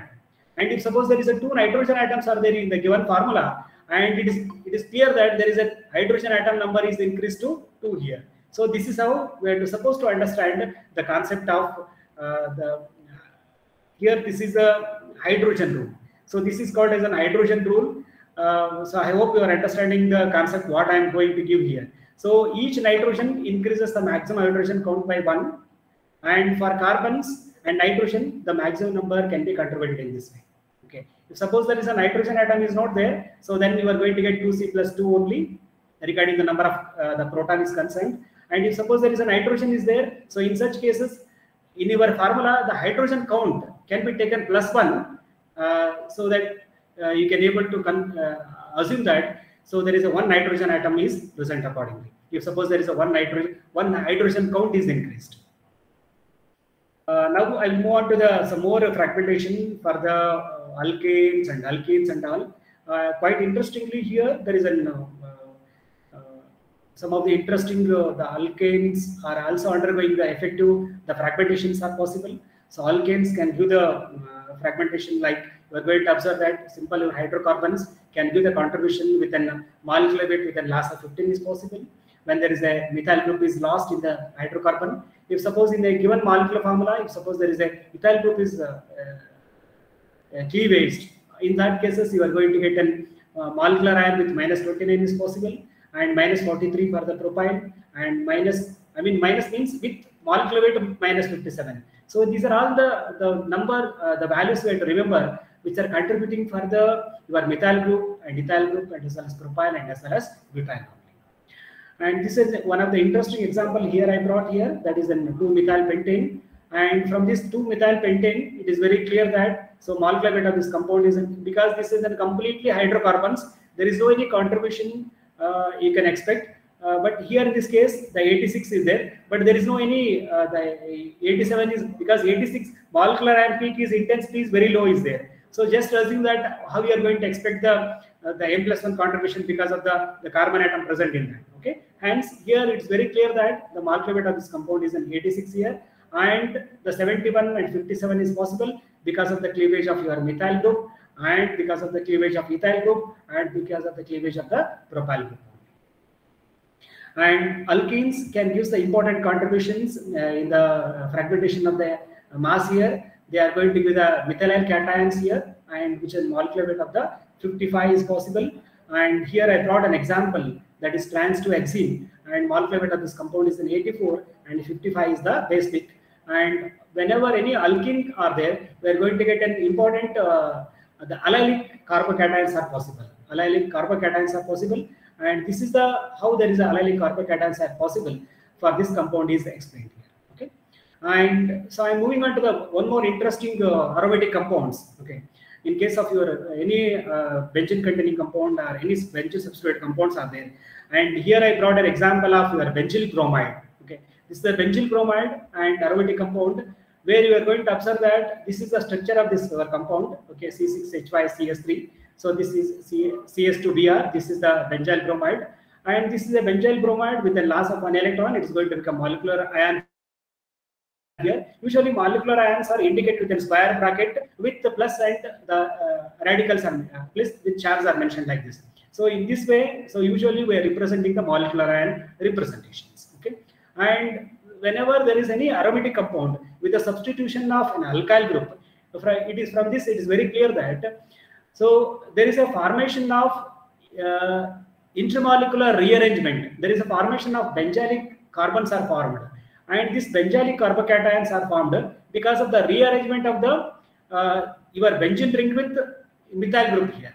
What is going to happen here is there is a formation of uh, carbocations that is because of the tropylium ion is obtained here. So instead of six membered ring of this compound is get converted into seven membered ring with any position. This methyl group or any alkyl substitution may be present in any the position or substituted and this is going to become uh, the seven member six membered ring is get converted into seven membered ring. The seven membered ring is a very stabilized portion of the structure and that is a 91 is possible. So this is very interesting that is your uh, this is an tropylium ion, the carbocation which is produced uh, in the case of your any benzene containing compounds here. And this is another example for the same compound only. And this is an uh, nitrobenzene containing compound where you cannot expect any tropylium ion here because there is no any methyl group here. This is an only the nitro group is there. Hence you are going to get an your the C6H5 and which is represented and the molecular weight of this compound is a 1, 123 that is your nitrobenzene and there is an even alcohol can give the important contribution with a minus uh, molecular weight with minus 17 is possible or minus 18 is possible maybe because of your hydroxyl radical or maybe because of the water and all. And interestingly, the primary alcohols can give the interesting uh, ions like CS2H, which is an M by Z value of 31 is possible. Okay, and this is an uh, the same compound which I am expressing about the propanol and molecular weight of this compound uh, it is an 60 is there okay and there is a with the loss of your cs2h okay so you are going to get an uh, ions around 40 42 you are going to get here and this is how there is a fragmentation is possible for the any alcohol containing compound Ami- amines and all, it's undergoing again uh, the fragmentation, which is going to produce the important iminium ions here, which these are all the important iminium ions with a molecular weight of the 72. And here there is a possibility that there may be a possibility of alpha cleavage is possible. Alpha cleavage means, so this may be an, either you can expect the cleavage, this one, or this one, both are possible. And in such cases, so you are going to get an, the suitable, uh, the M by Z value for the iminium ion here. So this is a suitable iminium ion within the positively charged ions are possible whenever there is a amines containing molecules. And this is an example for your uh, amine containing compound. And this is again ether. Ether can give the oxonium, an important oxonium ion here. Okay. And the followed by ether. Ether can give the interestingly the important ions are possible from ether, the 74 and 59, where you are going to observe the important carbocations are possible from this carbocations and aldehydes can give the elevation like this. Okay. Okay, this is how I think, uh, uh, sir. Hello. Sir, yes, sir. Yeah. Can you able to hear my voice? Yeah, yeah, yeah, yeah. Absolutely, madam. Absolutely, I am hearing. Okay. This is, I think, one, Okay. or, one or two slides only. No problem, madam. Okay, no problem, Yeah, no I'm Continue. almost to the end of the presentation uh, because of the Okay. different groups are there and how they are undergoing uh, the fragmentation. Actually, one or two slides are I'm completing. Okay, and here there is an aldehydes. Uh, so they are going to give the fragmentation pattern for the aldehydes and ketone. The important fragmentation is possible within the loss of one nitrogen molecular weight within minus one is possible from the aldehydes and and there is a possibility that there is a methane group is get uh, lost and hence you are going to get an a kind of an uh, the cleavage is possible in this way. And here is a clear cut idea about your hydro uh, hydrocinnamaldehyde. So this is a structure and the followed by the molecular weight of this compound is 134 and interestingly this compound is having an CST group is connected with this uh, benzene ring. Hence there is a possibility that there is a formation of the carbocations because of the uh, tropylium ion is possible. The 91 is an interesting uh, uh, the say seven member ring is formed here. Okay. This is where it is supposed to identify whenever there is an the 91 is possible and that may be a possibility of the the carbocation like tropylium ion is there. That is because of the 91 okay. And here there is a the cleavage is going to occur with the loss of a nitrogen or with the loss of uh, that our uh, carbonyl group uh, then so there is a ketones also going to give us some acylium ion here. And there is an uh, example for the ketones. And esters going to give us some important fragmentations with a loss of alkoxy loss of an alkoxy group and with an, a loss of an alkyl and example where I am going to give the, of simple ester is there and you can observe the molecular weight of this and important fragments are available as there is a uh, there is no any uh, uh, ion here because there is no any S2 group here. From this, we can able to observe that. So there is a substitution is not the uh, alkyl group, but it is an uh, keto group is there. So there is a one more interesting here. There is a McLafferty here. There is a, again uh, uh, interesting uh, topic where uh, is the transfer of gamma hydrogen to the carbonyl oxygen atom and thereby uh, so you can observe that it's almost reaching one o'clock. Okay. And so this is an uh, important here in the case of McLafferty rearrangement. There is a transfer of this gamma hydrogen to the oxygen atom of the compound and there is a formation of one stable portion of the ions are possible. And this is because of your elimination okay uh, here is a, some example which I am going to, going to quote here. So this is an example where we are going to observe that. So uh, this then gamma hydrogen is possible. This gamma hydrogen can transfer to the oxygen atom of this compound, and there is a formation of the stable ions. And interestingly, you are going to get an 44 as your uh, carbocation. This is some more example which I am going to give about the McLafferty rearrangement. This is more example. For ketone with the gamma hydrogen atoms are undergoing intermolecular rearrangement. So this is again the rule of 13. where we can able to identify the carbon hydrogen by knowing its uh, the carbon hydrogen. Just to divide the with the molecule by 30, we are going to get the number of carbon atom. By taking into the numerator, element one, you are going to get the number of hydrogen atom. Here is an example. Here is an example. Multiplied by 78 is and when you divide it so that you are going to get the number of atom. And remainder is uh, six only, so that you are going to get the uh, hydrogen atom can be counted. And when you have taken an example of uh, 92, so it is remainder is n is there. So from this, it is very clear that n plus one, so that you are going to get an uh, the number of uh, hydrogen atom can be counted in this way. So uh, interestingly, there is an uh, the Nobel Prize is given uh, for the discovery of the uh, uh, electrospray ionization and laser ionization in 2022 uh, by the some scientists. So uh, these are all the contributions they made. That is from the Virginia University, uh, followed by there is a Russia. They are made in laser oil, laser oil, Nobel Prize in the year of. Uh, so these are my references. These are all the there is journals are available in the uh, web. You can able to search about the mass spec and all. Okay. Uh, so I'm very much thankful to the uh, Vice Chancellor, Dr. PVGD Prasad Reddy, Vice Chancellor University, and all uh, organizers.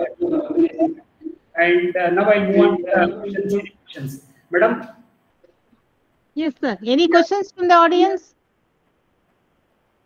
ఇది మ్యూట్లో ఉందా one minute sir any questions from the audience any any students students no questions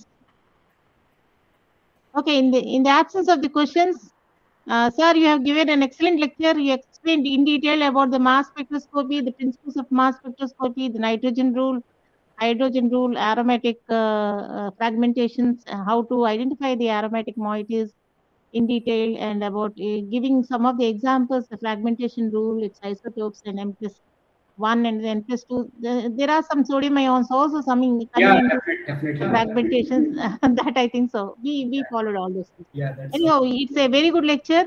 It is useful for the students. I got feedback from the students also, sir. The Yeah. lecture is very informative and it's very good. Thank you very much for giving a very excellent lecture. Indeed, your voice is so clear. Your presentation is very, very good. that we Thank can you, thank you to very much. Thank you for giving an opportunity. Thank you very much, sir. Sir, before ending this session, uh, my student Achitwali is going to give vote of thanks of the webinar. Okay, fine. I will be there. I will be there. I will be there. I will be there. Okay, sir. Good afternoon, everyone, to the one and all present here. Honorable speakers, Professor M.K. Kathiravan, Professor and HOD in the Department of Pharmaceutical Chemistry, SRM College of Pharmacy, Chennai, and Professor B.M. Gurupadayya, JSS Academy of Higher Education and Research, respected B. Girija Sastry, convener of this two days webinar, and all the participants from different institutes and industries. On behalf of the Pharmaceutical Chemistry Department, Andhra University College of Pharmaceutical Sciences, I would like to express my gratitude to all esteemed delegates of the webinar for their presence and contribution to the to make this webinar a great success. I extend my gratitude to our today's speaker, Professor M.K. Kathiravan and Professor B.M. Gurupadayya, to take out time from their busy schedule to raise the event. Thank you for inspiring and encouraging us with your thought-provoking talks on this special day. A special thanks to organizing committee and Professor G. Girija Shankar, in charge principal of AU College of Pharmaceutical Sciences, for providing immense support to make the webinar successful. I extend my gratitude to Professor V. Girija Sastry, Department of Pharmaceutical Chemistry, to organize the webinar and working hard for the past few days to make this webinar successful. I congratulate all the participants for their active participation and also technical staff for being with us for these two days and supporting us. Thank you everyone once again for making it a great success. Thank you. How many participants are there particularly present online and offline mode? Um, 85 um, Sir, around 150 members have joined into the webinar, sir. Okay, thank you. Thank you. Inviting and giving an opportunity for me. thank you very much. Conference. Thank you, sir. We'll end up then now. Okay, thank you, madam. Thank you. Thank you all for listening and giving in uh, I'll talk to you by phone soon. Okay, thank you, madam. Fine. Okay. Personal phone?